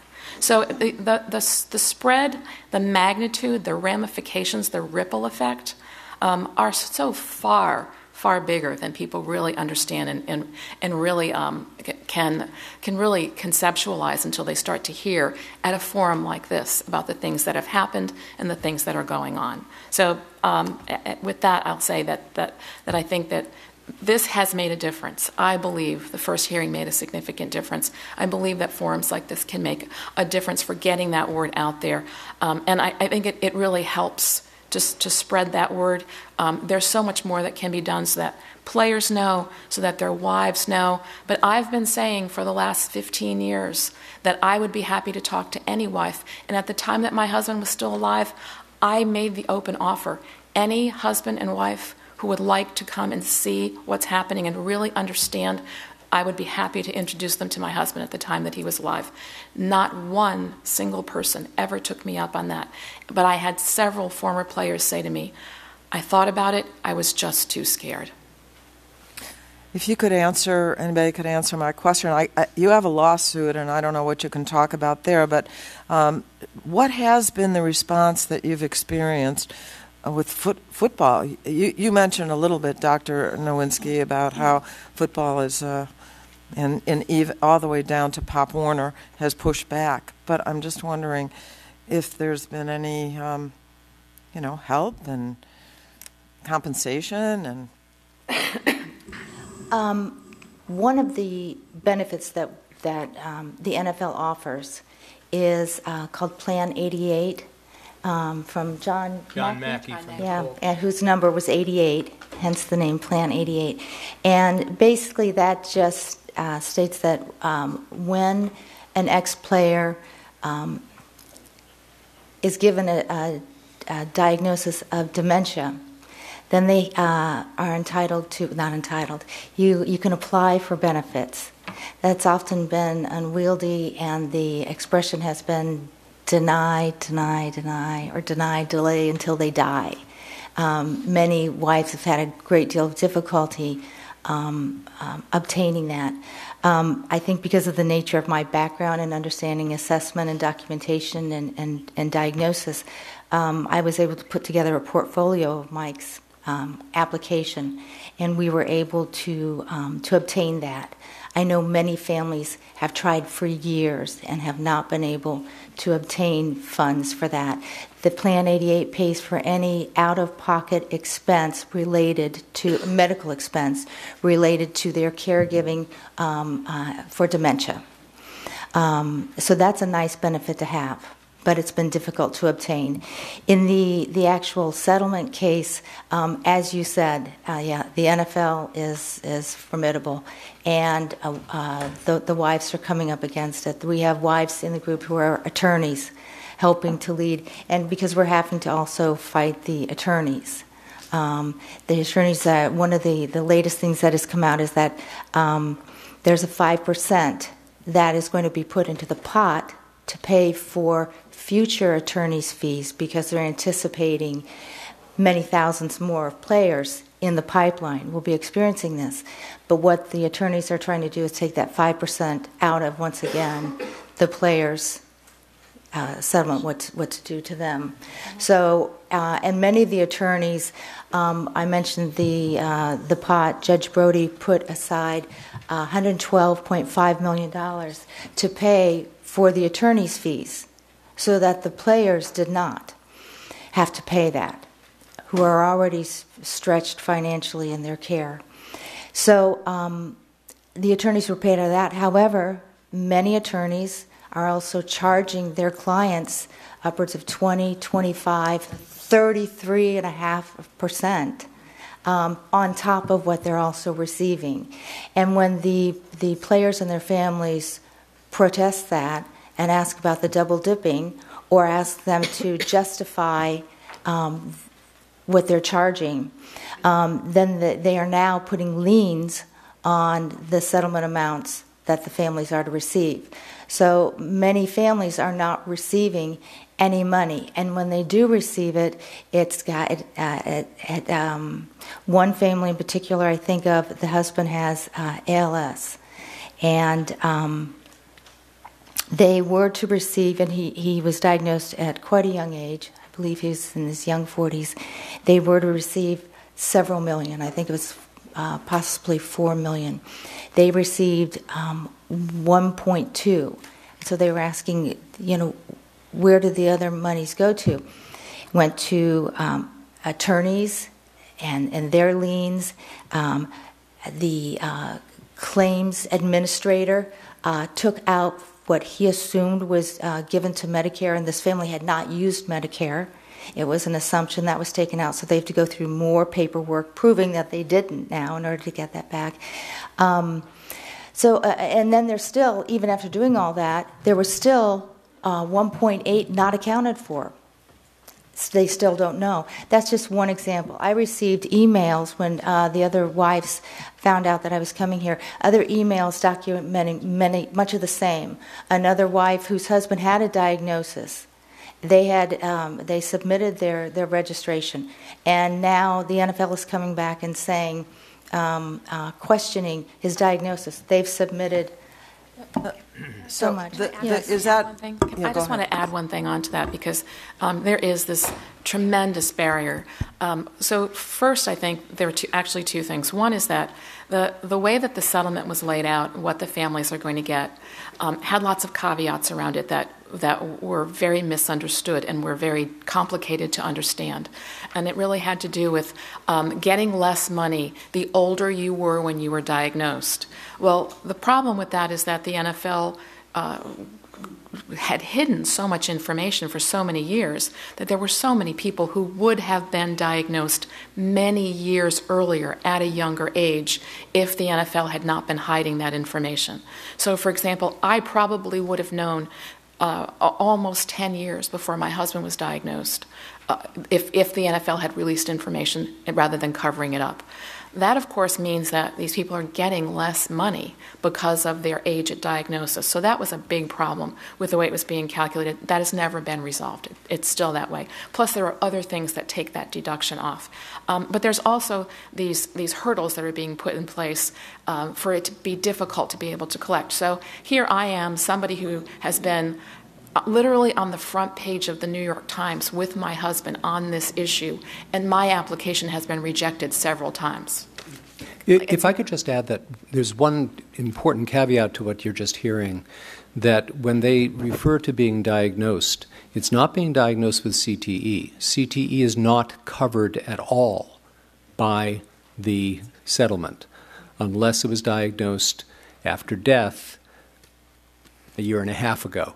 No one else moving forward after death will get any payment for diagnosis of CTE, but no one diagnosed with CTE during life, whatever we come up with as a way to diagnose it, or if someone has severe dementia and there's no other reason for it, if they're told they have CTE, they don't get compensation.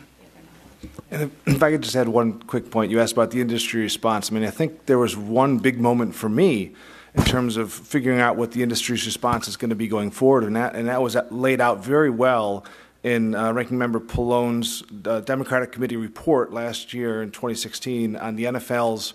Uh, not fulfilling their, their commitment to the NIH Foundation for research on CTE.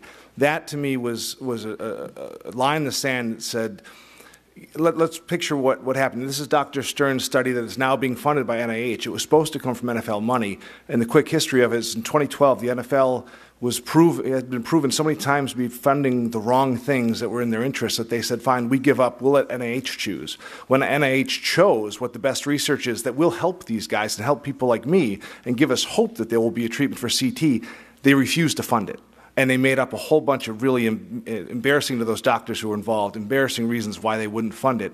So now we're $16 million short. The, the, the study was delayed, and now the NFL is, do, is a do-over saying we're going to give 100 million, but none of it's going to go to CTE. So they're not funding the biggest problem facing this group of people while they're still putting money into recruiting children to the game through things like the Heads Up football program, which the New York Times also showed that was falsely marketing to children. So that is, you talk about industry response.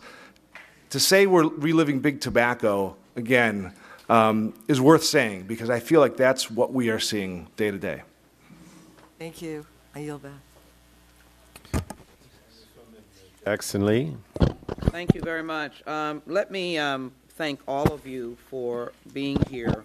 After the 2009 hearing that we had with Judiciary, we went to Houston, Texas, uh, and had a hearing uh, to deal with this issue. Uh, and frankly, um, it saddens me that we are here in 2017 and listening some of the most provocative testimony. Uh, I'm going to take the time to um, acknowledge that we have had hearings in uh, Houston and Washington on the Judiciary Committee, and then uh, in New York uh, was a field hearing as well in 2010. Um, and there have been other hearings um, in Detroit, um, and I hope we will get back. But I, but the, the real issue is, uh, what are we going to do, and what are we doing uh, now? And I'd like to um, put into um, what I know will be some form of a record, uh, the New York Times, A Football Widow's Traumatic Journey, which is Dr. Perfetto and sympathy to you, and then um, to Mike's story, uh, Adamle, uh, to uh, have the Chicago Tribune say it all. Your words were, "It shook my world." Um, I'd like us to have that in the record.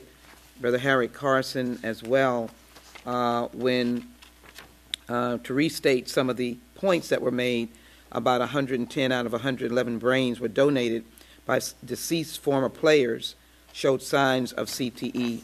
Uh, and then, of course, Dr. McKee, who has said there's no question that there's a problem in football, that people who play football are at risk of the disease.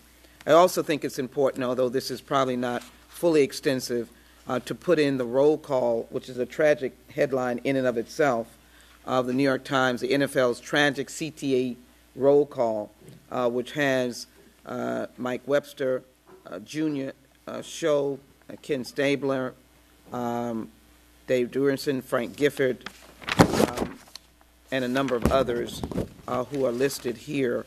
And I won't read the entire list, uh, but um, it is certainly evidence that we have a long-standing problem. And to hear the family's testimony is particularly challenging to me.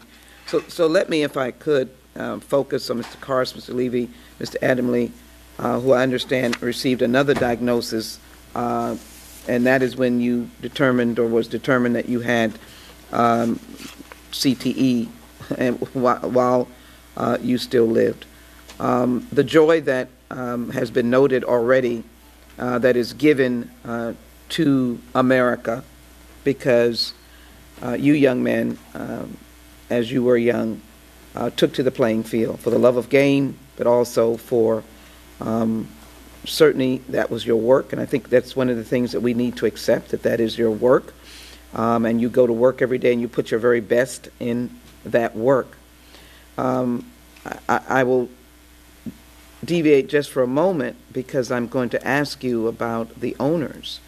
Um, because we have to come together. Uh, I believe there should be legislation that instructs and demands.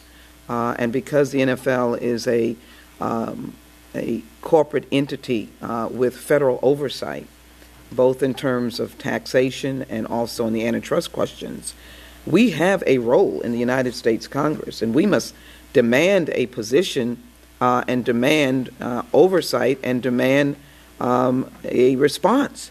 Uh, we cannot do this any longer.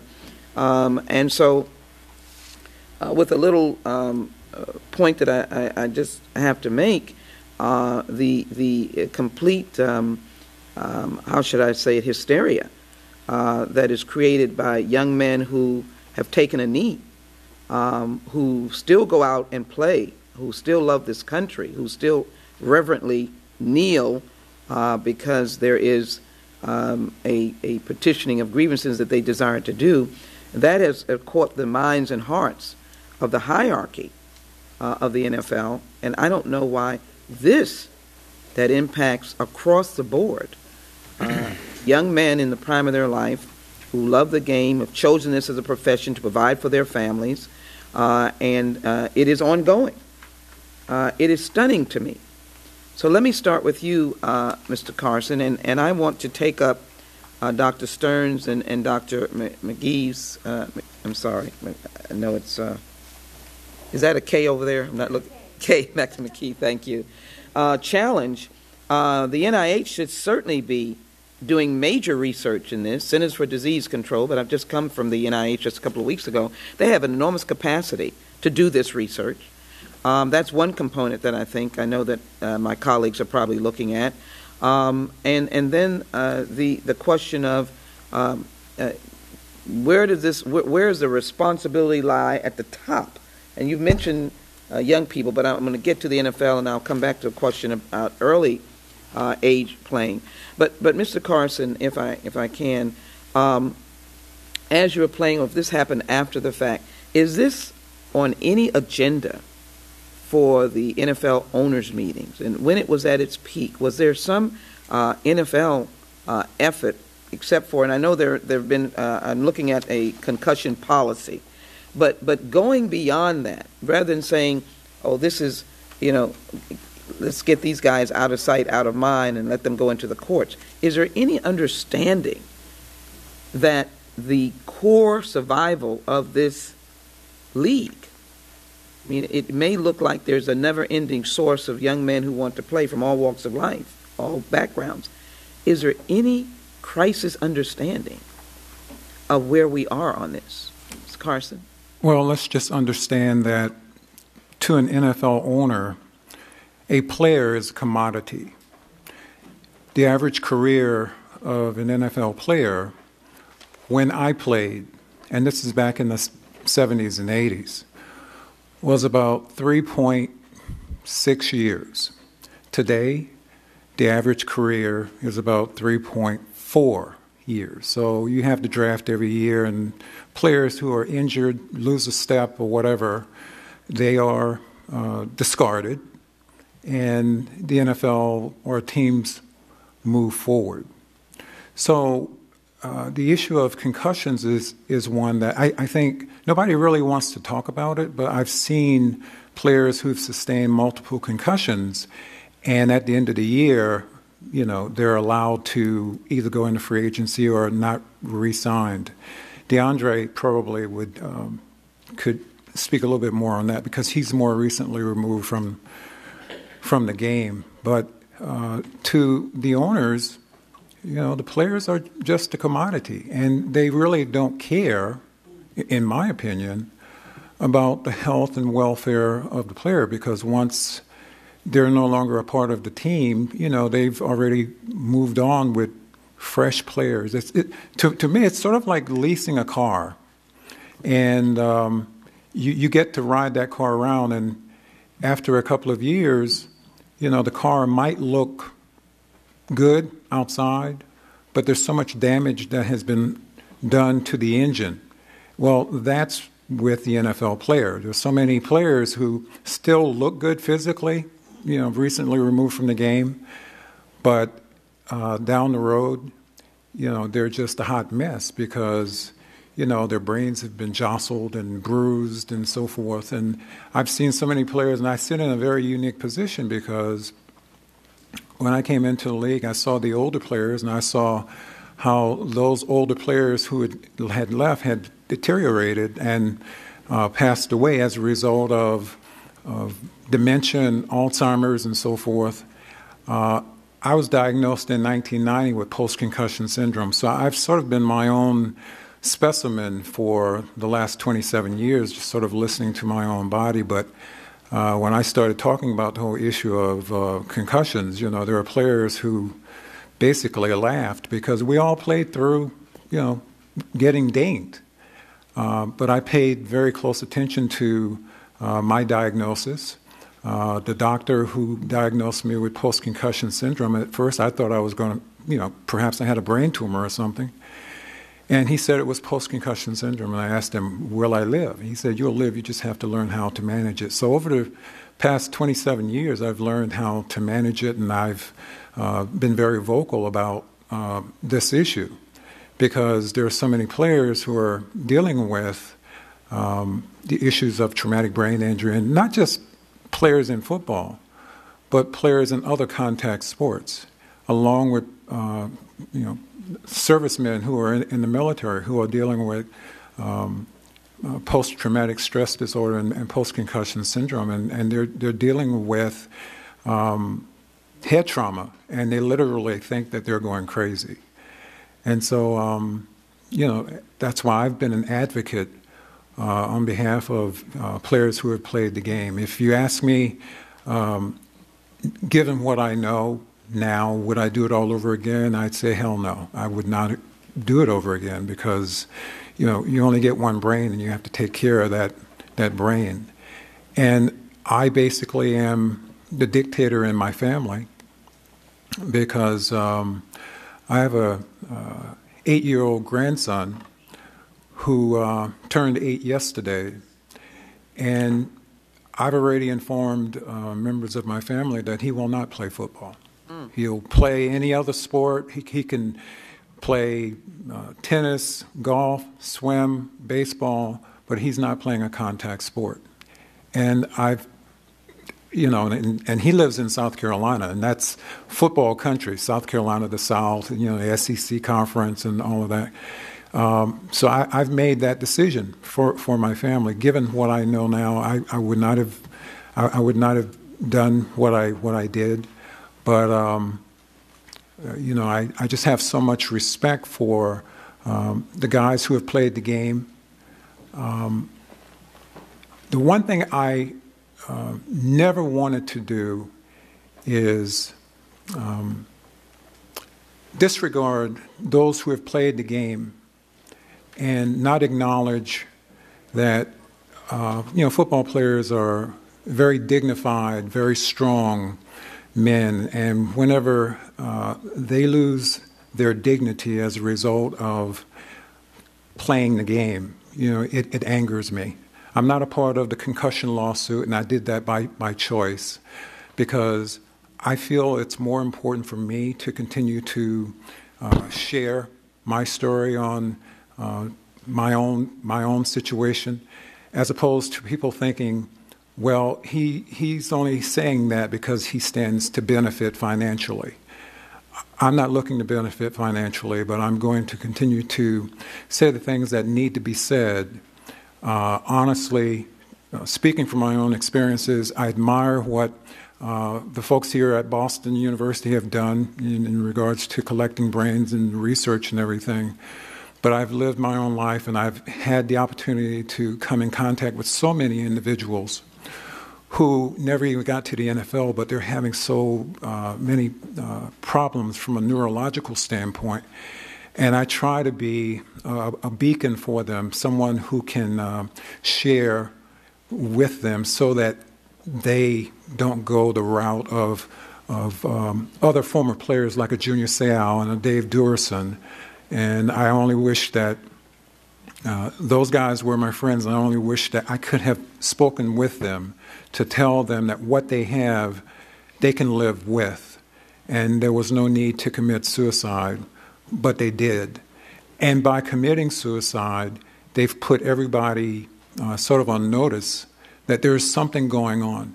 And if you don't acknowledge that uh, there is something wrong with uh, players when they leave the game and, and they can no longer take care of themselves or they fall into a deep depression, uh, then those individuals who committed suicide would have, uh, you, you, could say they committed suicide in vain because they certainly um, shot themselves in their chest and not their, their head because they knew something was going on.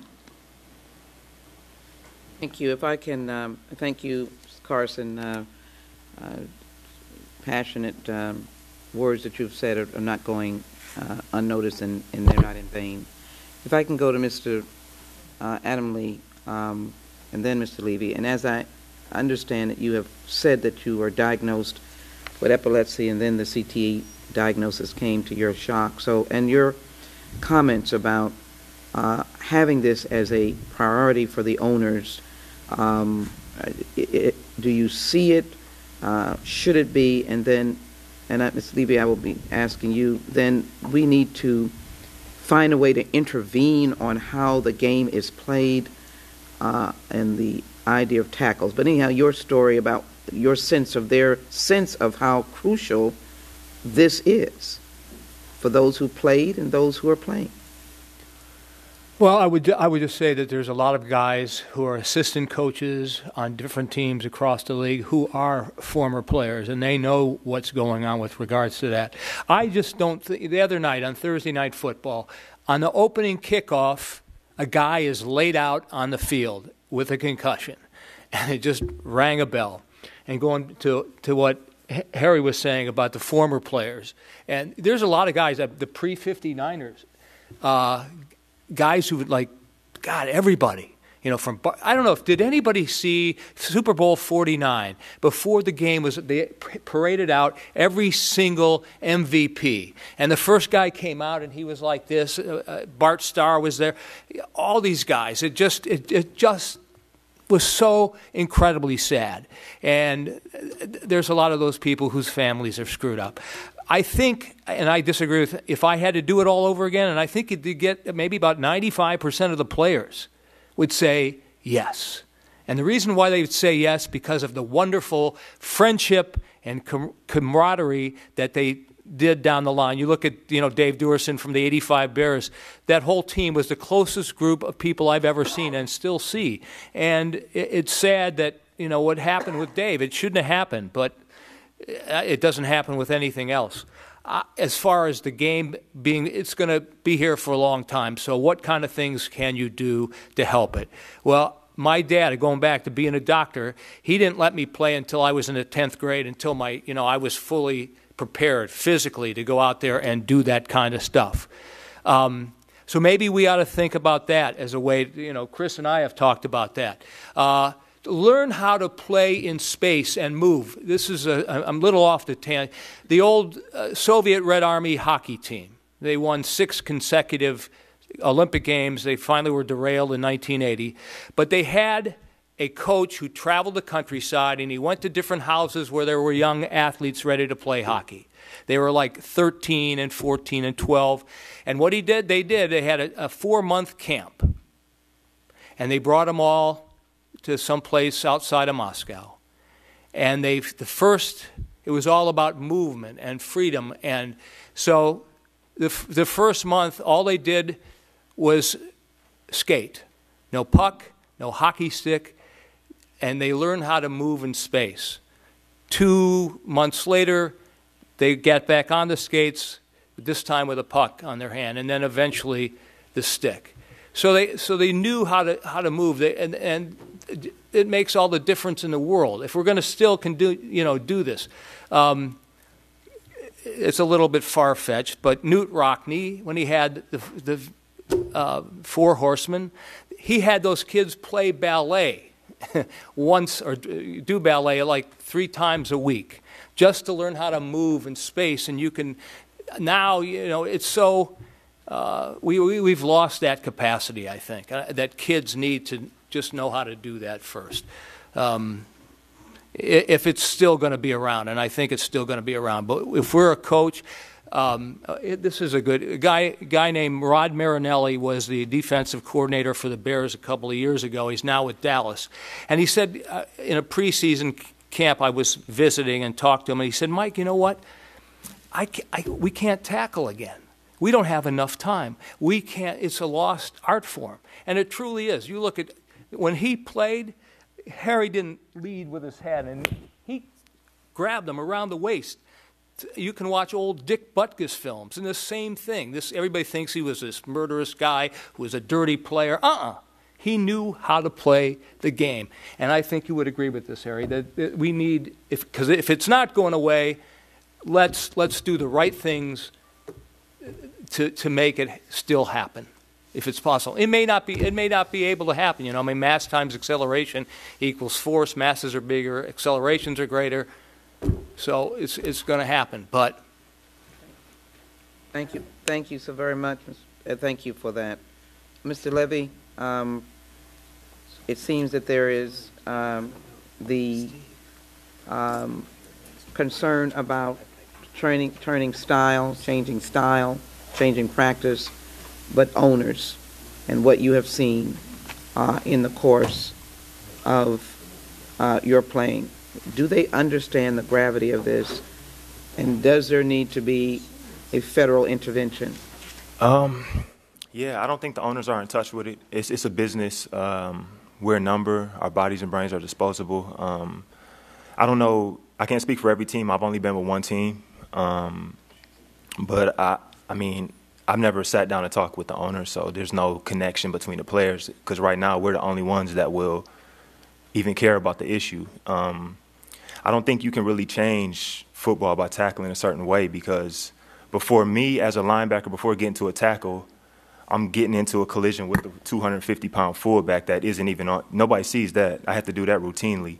Um, it's just inherently in the sport. I have to run into a 300 pound blocker, a lineman that's much bigger than me because I have to go make a tackle. So those are the hits that I take two or three hits before I even get to the tackle, which could be just a routine soft tackle that is, doesn't even, it's not a collision. So you see guys get small collisions and they're on the, on the ground. You see guys in big collisions where you think for sure they're not going to get up and they get up. So it's the small routine part of it. I think we can right now before until we get enough research to learn more. I think we should try to mitigate and limit those risks. I mean, I don't know why we're still in, in practice even. You know, I'm in 20, 30 subconcussive collisions in practice, whether it's going against my own teammates, going against our offense, uh, hitting a tackling dummy. You know, as a linebacker, I'm taught to hit with my head and my hands.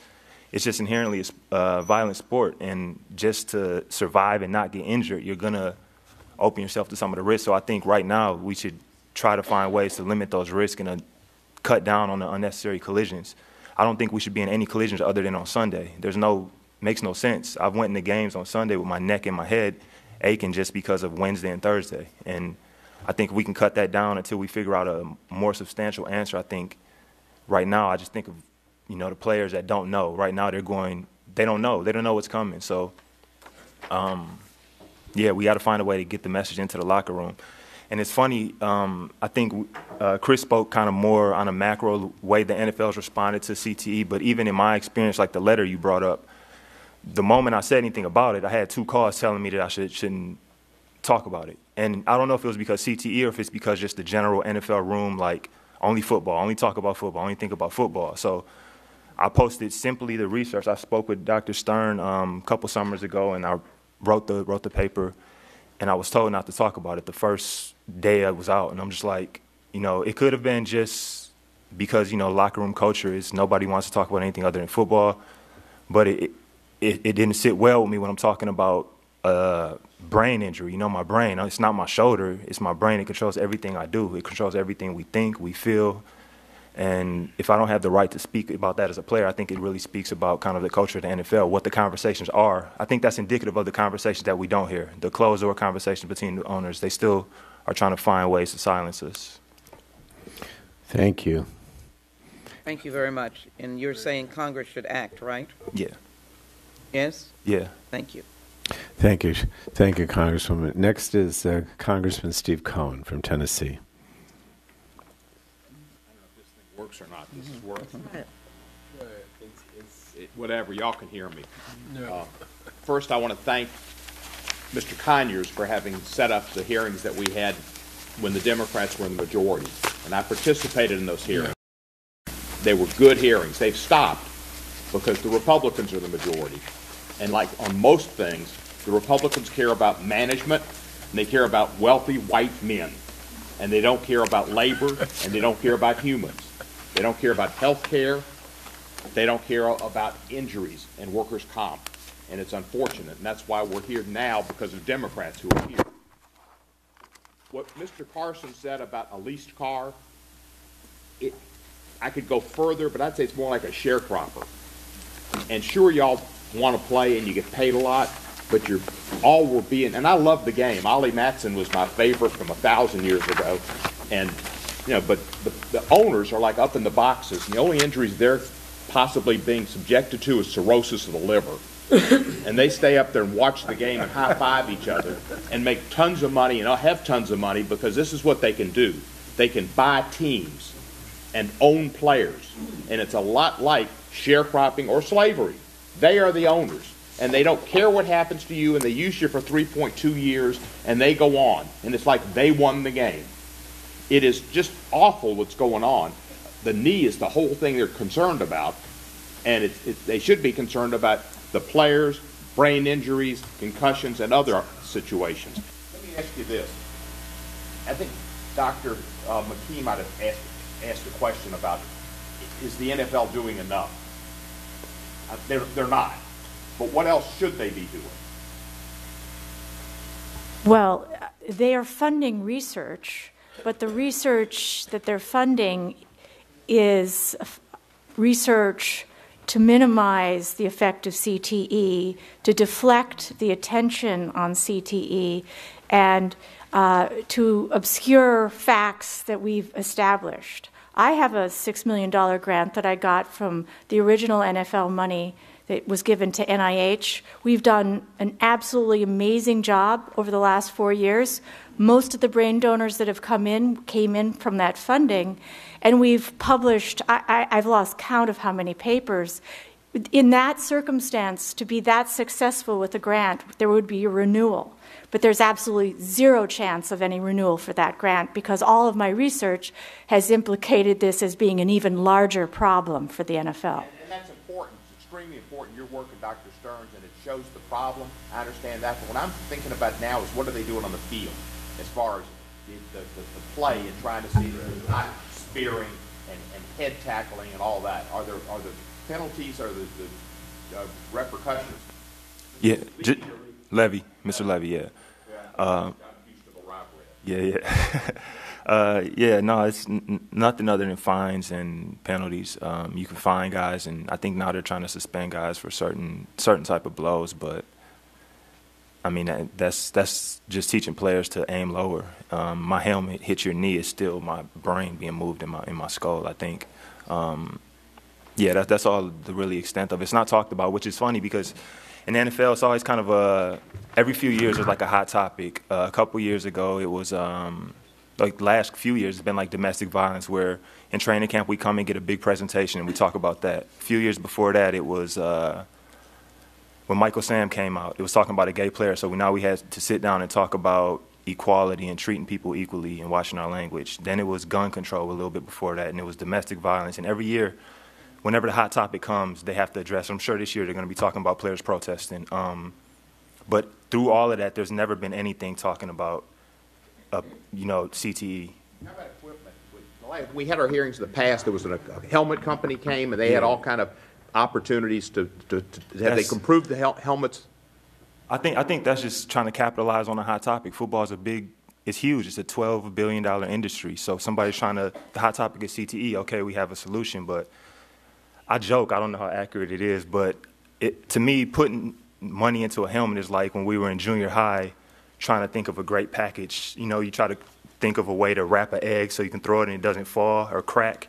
Like you put a lot of money into, you create this nice package, but if you shake that egg around, whether it cracks or not, the brain is still the yolk in there is still sloshing around. Like I feel like that's kind of what our our brain is in this fluid. Like you're shaking this egg around, and it's the brain is sloshing. The egg isn't cracking. You put the be- most beautiful package on, you can drop it from the roof, it won't crack, but that brain is still moving, tapping tapping around in there. So if I put on a two thousand dollar helmet and I run into somebody forty, you know, whatever the forces are, I don't know if we have any physicists in here, phys- whatever, but.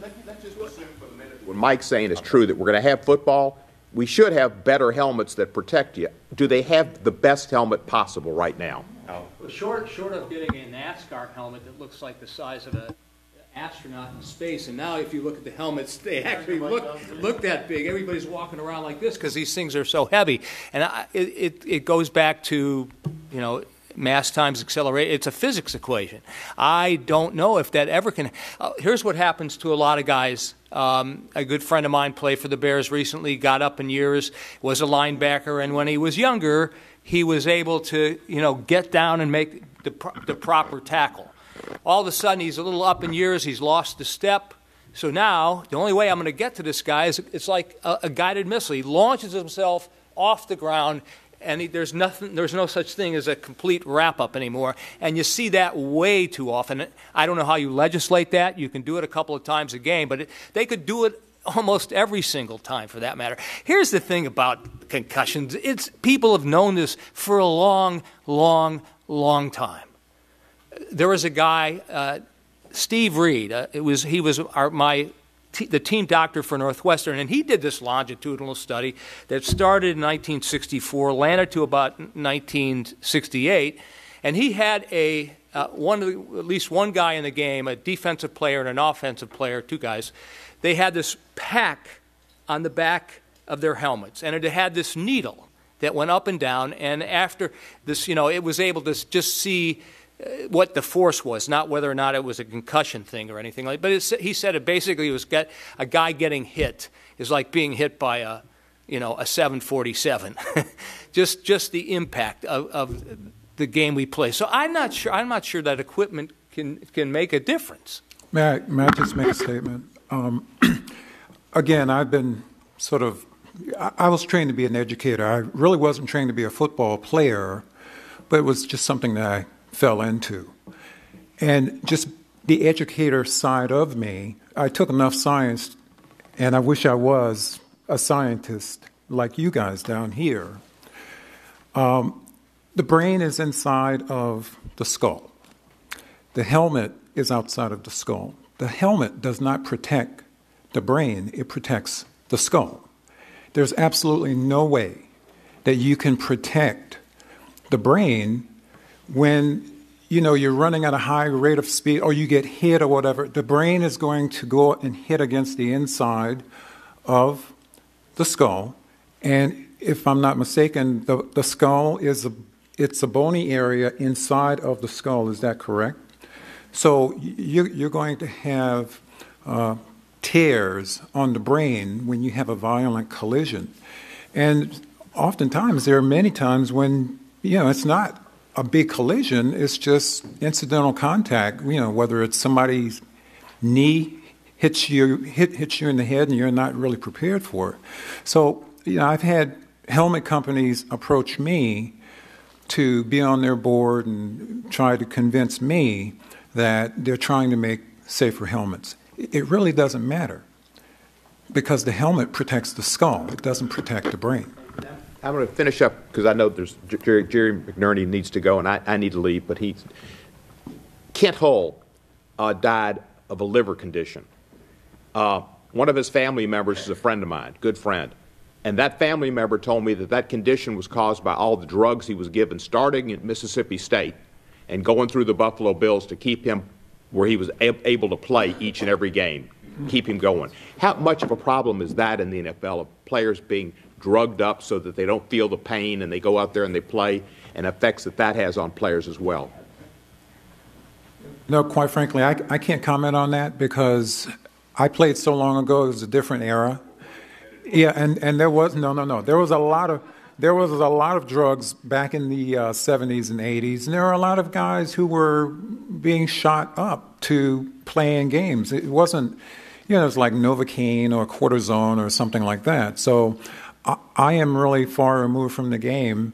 Perhaps he can share. He's more recent. He's he's the baby of the group here, and and he can share his thoughts. Modern times. Yeah, uh, I think um, they've gotten a little better with it the last few years. My first few years in the league, I could get Vicodin like Skittles. Like you can get Toradol shots like it was nothing. Naproxen, any anti-inflammatory or painkiller to get you through the week. Um, and as a player, I mean, it's on the doctor's hands to give you the to, to control it. I think and monitor, especially when you consider some of the psychological effects a player may have. Maybe him going in there four times a day and getting two Vicodin each time isn't a good thing to do. I mean, and, and, again, it goes back to education. Like we don't talk about the the effects of any of the drugs we're getting. It's you know, it's a 16 week season. People are trying to make it through. Doctor says it's all right. It's all right. I think it affected. I think it killed Kent. Yeah. And yeah. It, it went on forever.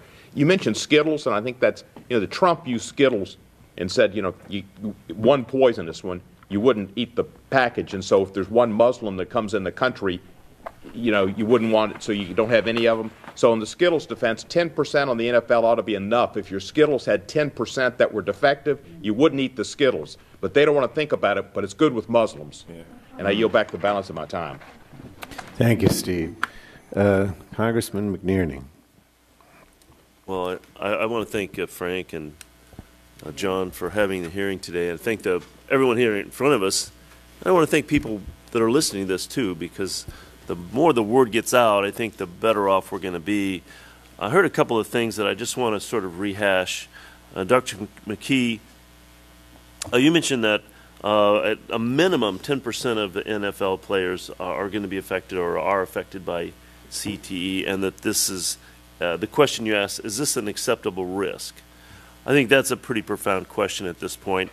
Uh, and, and, then, Dr. Stern, um, your question was uh, do we want to have children engage in sports?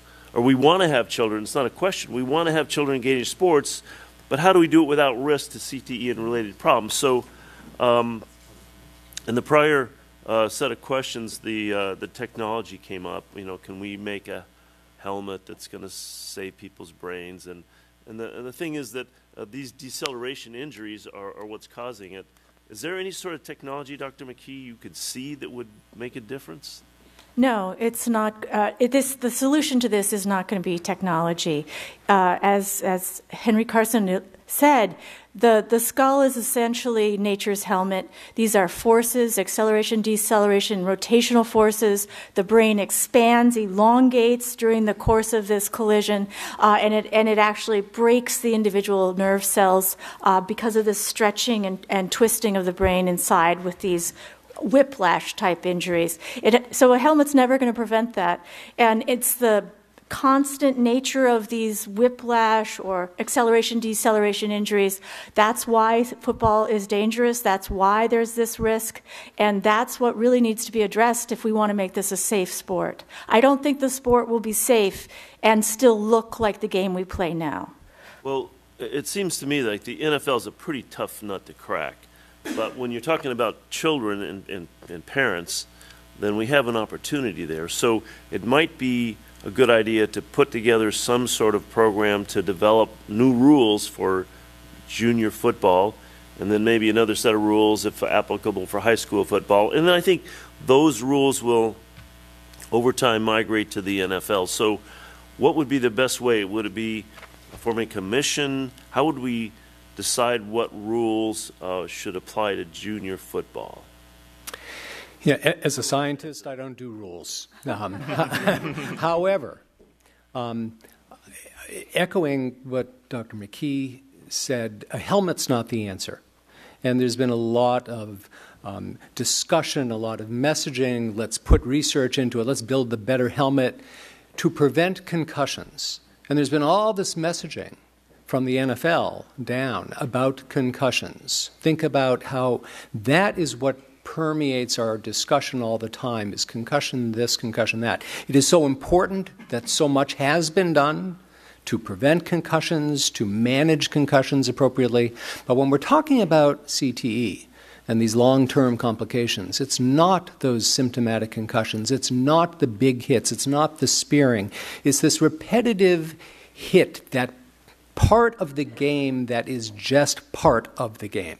So when it comes to changing rules, policies, I think it has to start with appropriate messaging.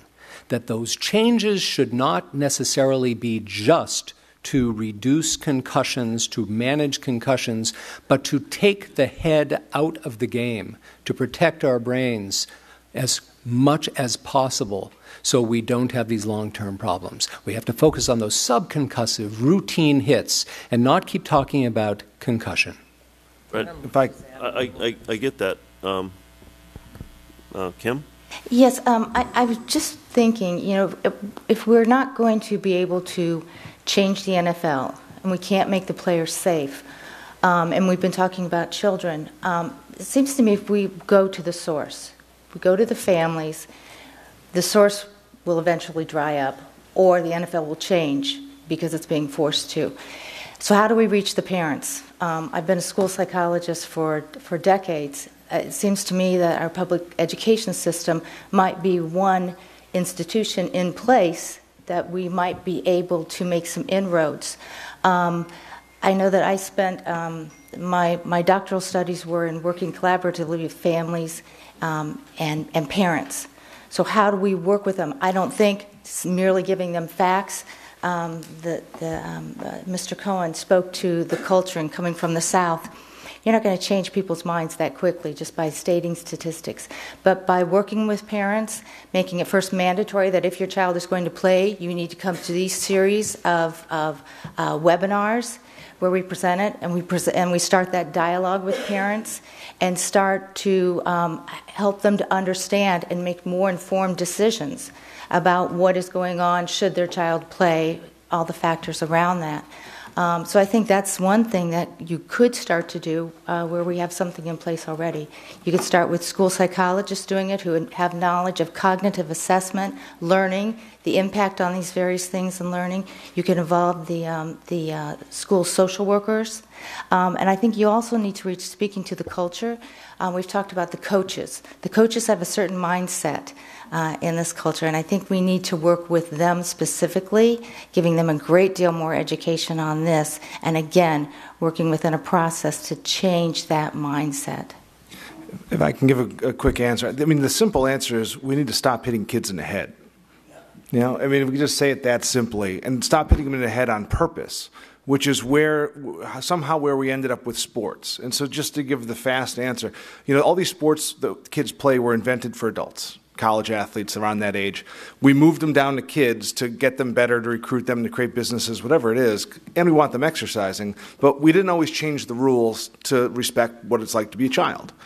Sports are now, some of sports are changing now. For example, we were very excited that we pressured U.S. soccer to ban heading up until, it should probably be 14, but it's up until 11 right now, right? The idea of throwing a projectile at a child's head and asking them to use their head to hit it back uh, is ridiculous. And so uh, USA Hockey raised the age of checking now to 13. U.S. Lacrosse has made all head contact a penalty. Uh, football is now on an island where they're the only ones saying, hey, it, it's still a good idea to hit this five year old in the head 300 times. And I think we can all be confident there's probably never a good enough reason to hit a child in the head 500 times. And it's not something that any of us do to ourselves, ever. I mean, I bet no one in this room has been hit in the head in the last month. You know, and, and guys are actually walking away from millions of dollars not to take this risk. So I think we just need to focus on this culture of we we just got to stop hitting kids in the head in sports and let's change the rules of the sports. Well, I mean, what I'm understanding is that it's not just hitting in the head. If you hit somebody with your shoulder, your head is going to accelerate and decelerate as well. So, who would be the best qualified to decide what what's allowed? Well, I, I, youth, youth. Yeah. Let's just stick to youth football. In youth football, who would be the best qualified to make that? And I, and I think the answer is it has the, the industry has proven that they are not the right No, people, right? clearly not. I mean, I, and, I, and I, I'll pull another quote out that that that the C- executive director of Pop Warner said. He said if we converted to flag, which is what we promote, just play flag seven on seven, any other version of it. He said we would lose ninety to ninety five percent of our players because parents would put them to another league. And so, just to realize the problem we have, we have this shell game of um, nobody owns youth football. And so, everybody in youth football, even though we all know it's a bad idea, is scared to say we're going to have an age minimum because Pop Warner's going to lose their people to American youth football, they're going to lose their people to this league or that league. So, it's got to come from outside football. That's the answer. And it's not, NFL's proven they're not the right people to do this. So I think it, the government has a role protecting our kids. And I think our government, and you need to figure out through which you want to do it. You know, the CDC, public health experts, I don't care. But it needs to come from without football if we want to push a solution forward. Okay, um, one final question. Uh, Mr. Carson and Mr. Levy, um, could you tell me a little bit about your observations with former players? I mean, are former players, by and large, all experiencing these kinds of problems? Or um, just the one? I, I, what's your experience in terms of other players? Uh, again, let me just share with you. I was diagnosed uh, in 1990 with post concussion syndrome. That was probably the best thing for me to to have done because I had so many things going on and I really didn't know exactly what it was. You know, sensitivity to bright lights and loud noise and so forth. Um, and so many other things. And so I had a name to go with what I was dealing with, and I've been able to live with it over the years. When I first started talking about it, there were players who literally laughed because during that era of football, we were all sort of trained to go out and play, and if you got dinged and you got concussed, you know, you may have walked to the other team's uh, huddle, and you got a laugh out of it and uh, but you know, we all knew that you know you, you're going to get dinged just playing the game. So then there became players who would call me, and they would say, "Harry, I'm having some problems. I know that." You've been very upfront about talking about this issue, but let me tell you what I'm going through. And so it, it takes a lot for a football player to open up to another guy about issues that are going on with him. And so I tried to point him in the right direction, and then more and more players started dealing with issues. Um, not only were the players dealing with issues and were coming to me, there were the wives of the players who would ask if I could point their husbands in, in the right direction. So, you know, there are so many, and I know this is not just a a coincidence. There are so many former players who are dealing with neurological issues now that, you know, I call them uh, undiagnosed brain injury survivors. I'm a, I, I am a diagnosed brain injury survivor because I knew what I was dealing with and I've been able to live with it. But for all of those other guys, they're undiagnosed and they're just sort of wandering. You know, they've lost their jobs. They're dealing with all of these issues, and you know, Mike and his family, his his his wife. That's a clear example of what many of these these guys are going through now with their spouses. So, more needs to be done. More needs to be uh, more resources should be available to families of men who have played the game Um, they're, they're, you know, they did a very good job of explaining what the issues are, but it's it's well beyond what you see on the surface. And as I said earlier, it's not just an NFL problem. There are so many individuals who never even got to the NFL who are dealing with, you know, these issues, and they're reaching out for help. Actually, in the interest of time, I think I, I'll yield to Mr. Cicilline, so I'm going to yield back. Thank you. Mr. Cicilline. Thank you. Thank you. Um, I want to begin by thanking uh, both Chairman Conyers and uh, Chairman Pallone for uh, convening this uh, forum, and uh, thank the witnesses um, for being here and, and being courageous enough to share your stories, to uh, engage in groundbreaking and important research, and of course, important advocacy. And uh, your presence here today is already improving the situation by continuing to raise the profile of this really important issue.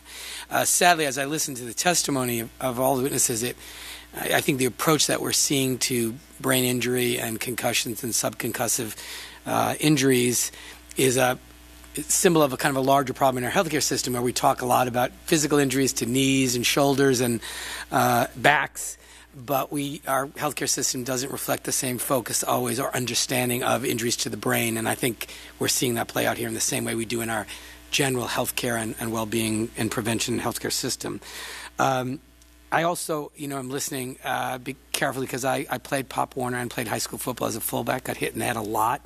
Didn't play high. I didn't play college football, but you know, at the time that I played, these issues were not discussed by anybody. I mean, my parents are alive and love me, and I, am sure would be horrified if they were watching this hearing to know the kind of danger they exposed me to in, in playing in those games. So, I guess my first question is: uh, there was a great uh, piece written by the chairs of the U.S. Consumer Product Safety Commission and the Federal Trade Commission entitled Helmets Protect Heads, Not Brains, to Mr. Carson's point. So I think the kind of question I have is Are there efforts that can be undertaken in youth, whether it's Pop Warner or high school football, that will make play in, in those forums safe for young developing brains or not? I mean, are there protocols that can be put in place? Are there new coaching techniques? Are there new tackling techniques? Or is the danger so great because of the age of those participants that it can't be done safely? I, I guess that's my first question. I'd ask both the players and the scientists and anyone else who wants to weigh in on that. If I could start, I don't think we know that there is a safe time just because some of the research looks at age 12 or age 14 or age 11. Um, there is ne- not necessarily a safe time for the head to be hit and the brain to be moved around the way you've described over and over and over and over again. It's just not made to do that. So putting it off is fantastic. Putting off exposure to any of those hits through youth football I think needs to be done. But when is it a safe time? We don't have that answer. So, to do what can be done to at least reduce the overall exposure to these hits by having no contact practices, by doing something to the change of the way the game is played on the field during games, to do whatever can be done to reduce the overall number of hits, I think is critical. But there's no safe time necessarily to start or number of years to play. I think another way to look at that is there's no evidence that any tackling technique is going to make any major difference. And even if there was, if your if your best solution to preventing a child from getting a brain injury was to ask a 10-year-old to execute perfect technique every time, you're destined to fail. So I, I, we, uh, I've thought about this for a long time. The only solution is to, you can't ask children to tackle each other to the ground because their heads are going to get hit, especially when their head is much, much larger in, with respect to their body. So they can't keep their head out of a collision. But I would also say, in terms of helping us find long term solutions, as a former football player yourself, when I meet them and they say they've played, I have to ask as part of my job are you interested, uh, Congressman Cicilline, in pledging your brain to Dr. McKee's brain bank? Oh, yeah, absolutely. Great. Great. I have a card here for you. That I will share with you Call me a afterwards. football. Yeah, after I'm dead, as Jan mentioned. Yeah. Not today, but yeah, All right. absolutely. Thank you very much. My pleasure. Um, Mr. Carson? Or you can become a dictator, as I have, and not allow your child or your grandchild to play. Uh, again, the information that's out there that they've largely um, developed and the life that I've lived and what I've seen, I'm sort of like Oprah. What I know, I know pretty damn sure. And I'm not willing to assume that risk with my eight year old grandson. I'm just not. And so, you know, there is no perfect tackle. If you put your kid out there, bad things can happen. And I'm not willing to allow my eight year old grandson, who is so precious to me, to be injured in any way. I mean, if he scrapes his knee or something like that, you know, that's fine. But the brain, that's an altogether different matter. My, oh, sorry. comment on that, uh, on, uh, uh, uh, look at it in a little bit more depth. When we're talking about brain development, and the doctors have mentioned that there's no safe time or age that we know of, we can't pinpoint that. But I would also mention that there are critical periods of development that would be hindered. Um, and when we, we can talk about something like impulsivity or attention. So this isn't just that the brain is being damaged at this point and potentially will lead to um, what we're seeing with the, the older players. These are uh, for the younger brain and the damage that they um, that they have. It will affect their ability to learn in school. It will affect their ability to uh, self-regulate, manage their own behavior, their affective um, behavior uh, regulation um, could be impaired. And when you think about what does that mean, that means um, uh, less ability to control themselves and perhaps getting in trouble with, with the law, making bad decisions as far as recklessness, um, not furthering their education. Um, so it has far rippling effects to society and what we see, and especially for our young men. So there's a, a huge rippling effect to the damage that can occur um, to a young Thank man. you. And my very last question is for Mr. Levy, Mr. Carson. Do you see, you said, what's your general impression about the, if there is any changing culture within professional football? Are coaches and professional staff more conscious of these issues? Are, are people starting to have conversations about changing the way practice is conducted and, and et cetera? I mean, do you have a sense that that they're hearing about these the implications of this, even if they're reluctant to um, make big changes? No. None. I mean, in my experience, no. Um, I, I, they made rules that, you know, we don't wear, have two days anymore, but we still have our helmets on. We're still hitting dummies. Um, I don't hear it talked about it at all. I don't think the organization wants to put that in a player's head that they can give themselves a degenerative brain disease. Um, you don't want your players out there Sunday worrying about, you know, damaging their brain. That's, I mean, it's not talked about. I, um, I think it needs to be in the locker room. There's like a little poster on the wall that has concussion really big on it and tells you how to properly tackle so you don't get a concussion. But there's nothing in there about the long-term effects of it, and it's, it's just it's it's not talked about at all. Like I, I think you, I spoke about it a little earlier, having a conversation with a handful of teammates, and we talked and shared stories and had similar issues, and you know at various levels. I was the older one, but I, you know we all had the same issues, and not none of them could connect it to. They knew nothing about the research. They didn't know about the NFL's role in it. They didn't know about like anything. It was just concussion, concussion, concussion, because that's the buzzword for the NFL to try to distract players from the bigger and deeper issue. Um, Bill Belichick was one of my coaches um, when I was with the Giants. And we've remained friends over the years. And when the last collective bargaining agreement was agreed to, uh, he sent me a text and he said, Harry, the way they have rules are now, he said, you could still play. Because in terms of practice, there's very little contact. And so the NFL has done a lot to look into making the game safer. But there's no way that they can make the game safer because football is what it is. It is a, a contact sport. Uh, people are flying around um, at great speeds and they hit one another. And, you know, so many players now who um, are, are not even being um, concussed in practice. Now they're being concussed in games. And, uh, you know, I'll, I'll, give it to them. They're at least taking or making the effort to try to make the game safer. But by nature of the game, it, you, you, just can't make it any, any safer than it is. Thank you very much. With that, I yield back, Mr. Chairman. Thank you. Look, I want to thank um, all of you. This was really an amazing uh, morning, and I think we learned so much, and we really appreciate uh, not only the experts, but all the the players and their families who, um, you know, really gave us insight into what's going on. And and you know, we we had this forum because we really wanted to get to the bottom of certain things, and I don't even. I certainly think we should have more. Uh, but I really appreciate um, everything that all of you have said. Now, I just say if there's anyone who feels that they would like to add something now, you know, regardless of any, I don't think we have any more questions. Uh, please feel free. Otherwise, we're going to conclude the forum. Does anyone want to add anything that you felt you haven't had a chance?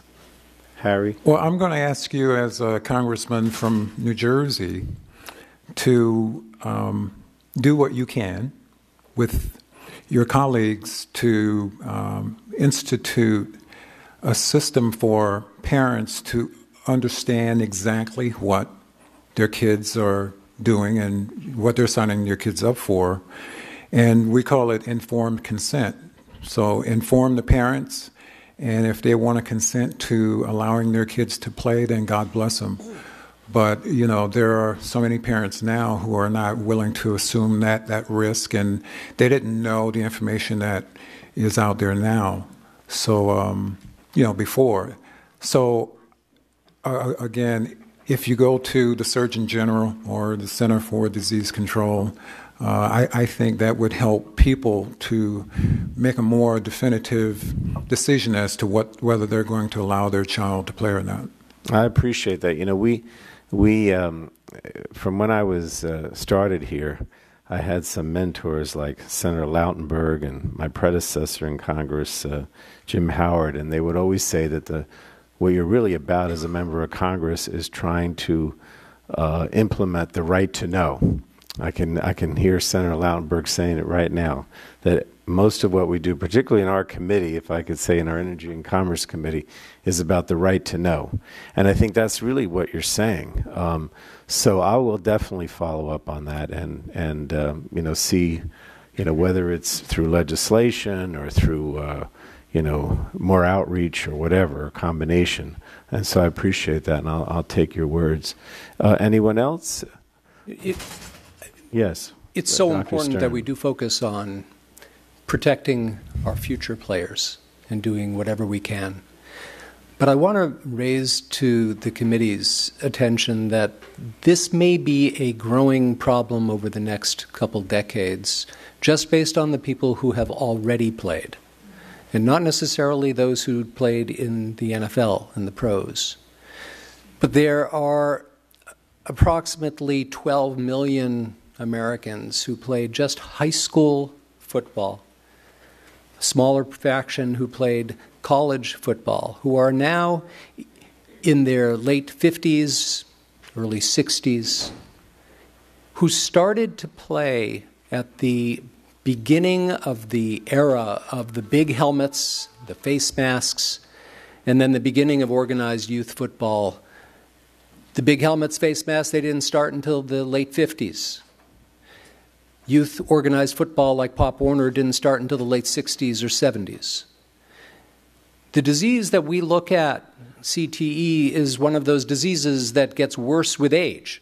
It's a degenerative brain disease. And so these folks who are now in their late 50s, 60s, and now we're going to have millions of them over the next couple decades, they're the ones who we may be seeing in my research when they're alive, hopefully to be able to figure out how to diagnose them. Sadly, in Dr. McKee's research after they pass, we need to do something now to help with that potential epidemic over these next couple decades. And that means increasing research funding so we can as quickly quickly as we can, learn to diagnose it, learn to treat it, learn to perhaps slow it down enough so we can prevent the symptoms altogether. Thank, Thank you. you so much. Yes, go ahead, Doctor. One short comment. Uh, building off of what, what Harry said, we talked about, you know, I guess, well, I guess I want to say this. We've been pretty harsh on football today. I want to recognize and thank the people within the game who have been trying to fight that fight. So we talk about limits in, in, the NFL. That was really pushed through the Players Association. They had to fight for that. I want to recognize the Ivy League for getting rid of hitting during the season. My former football coach, Tim Murphy. This is an interesting thing where we now face it's really the football players and coaches often versus the football as an industry. And it's amazing to see these young these gentlemen come together as football players looking out for one another.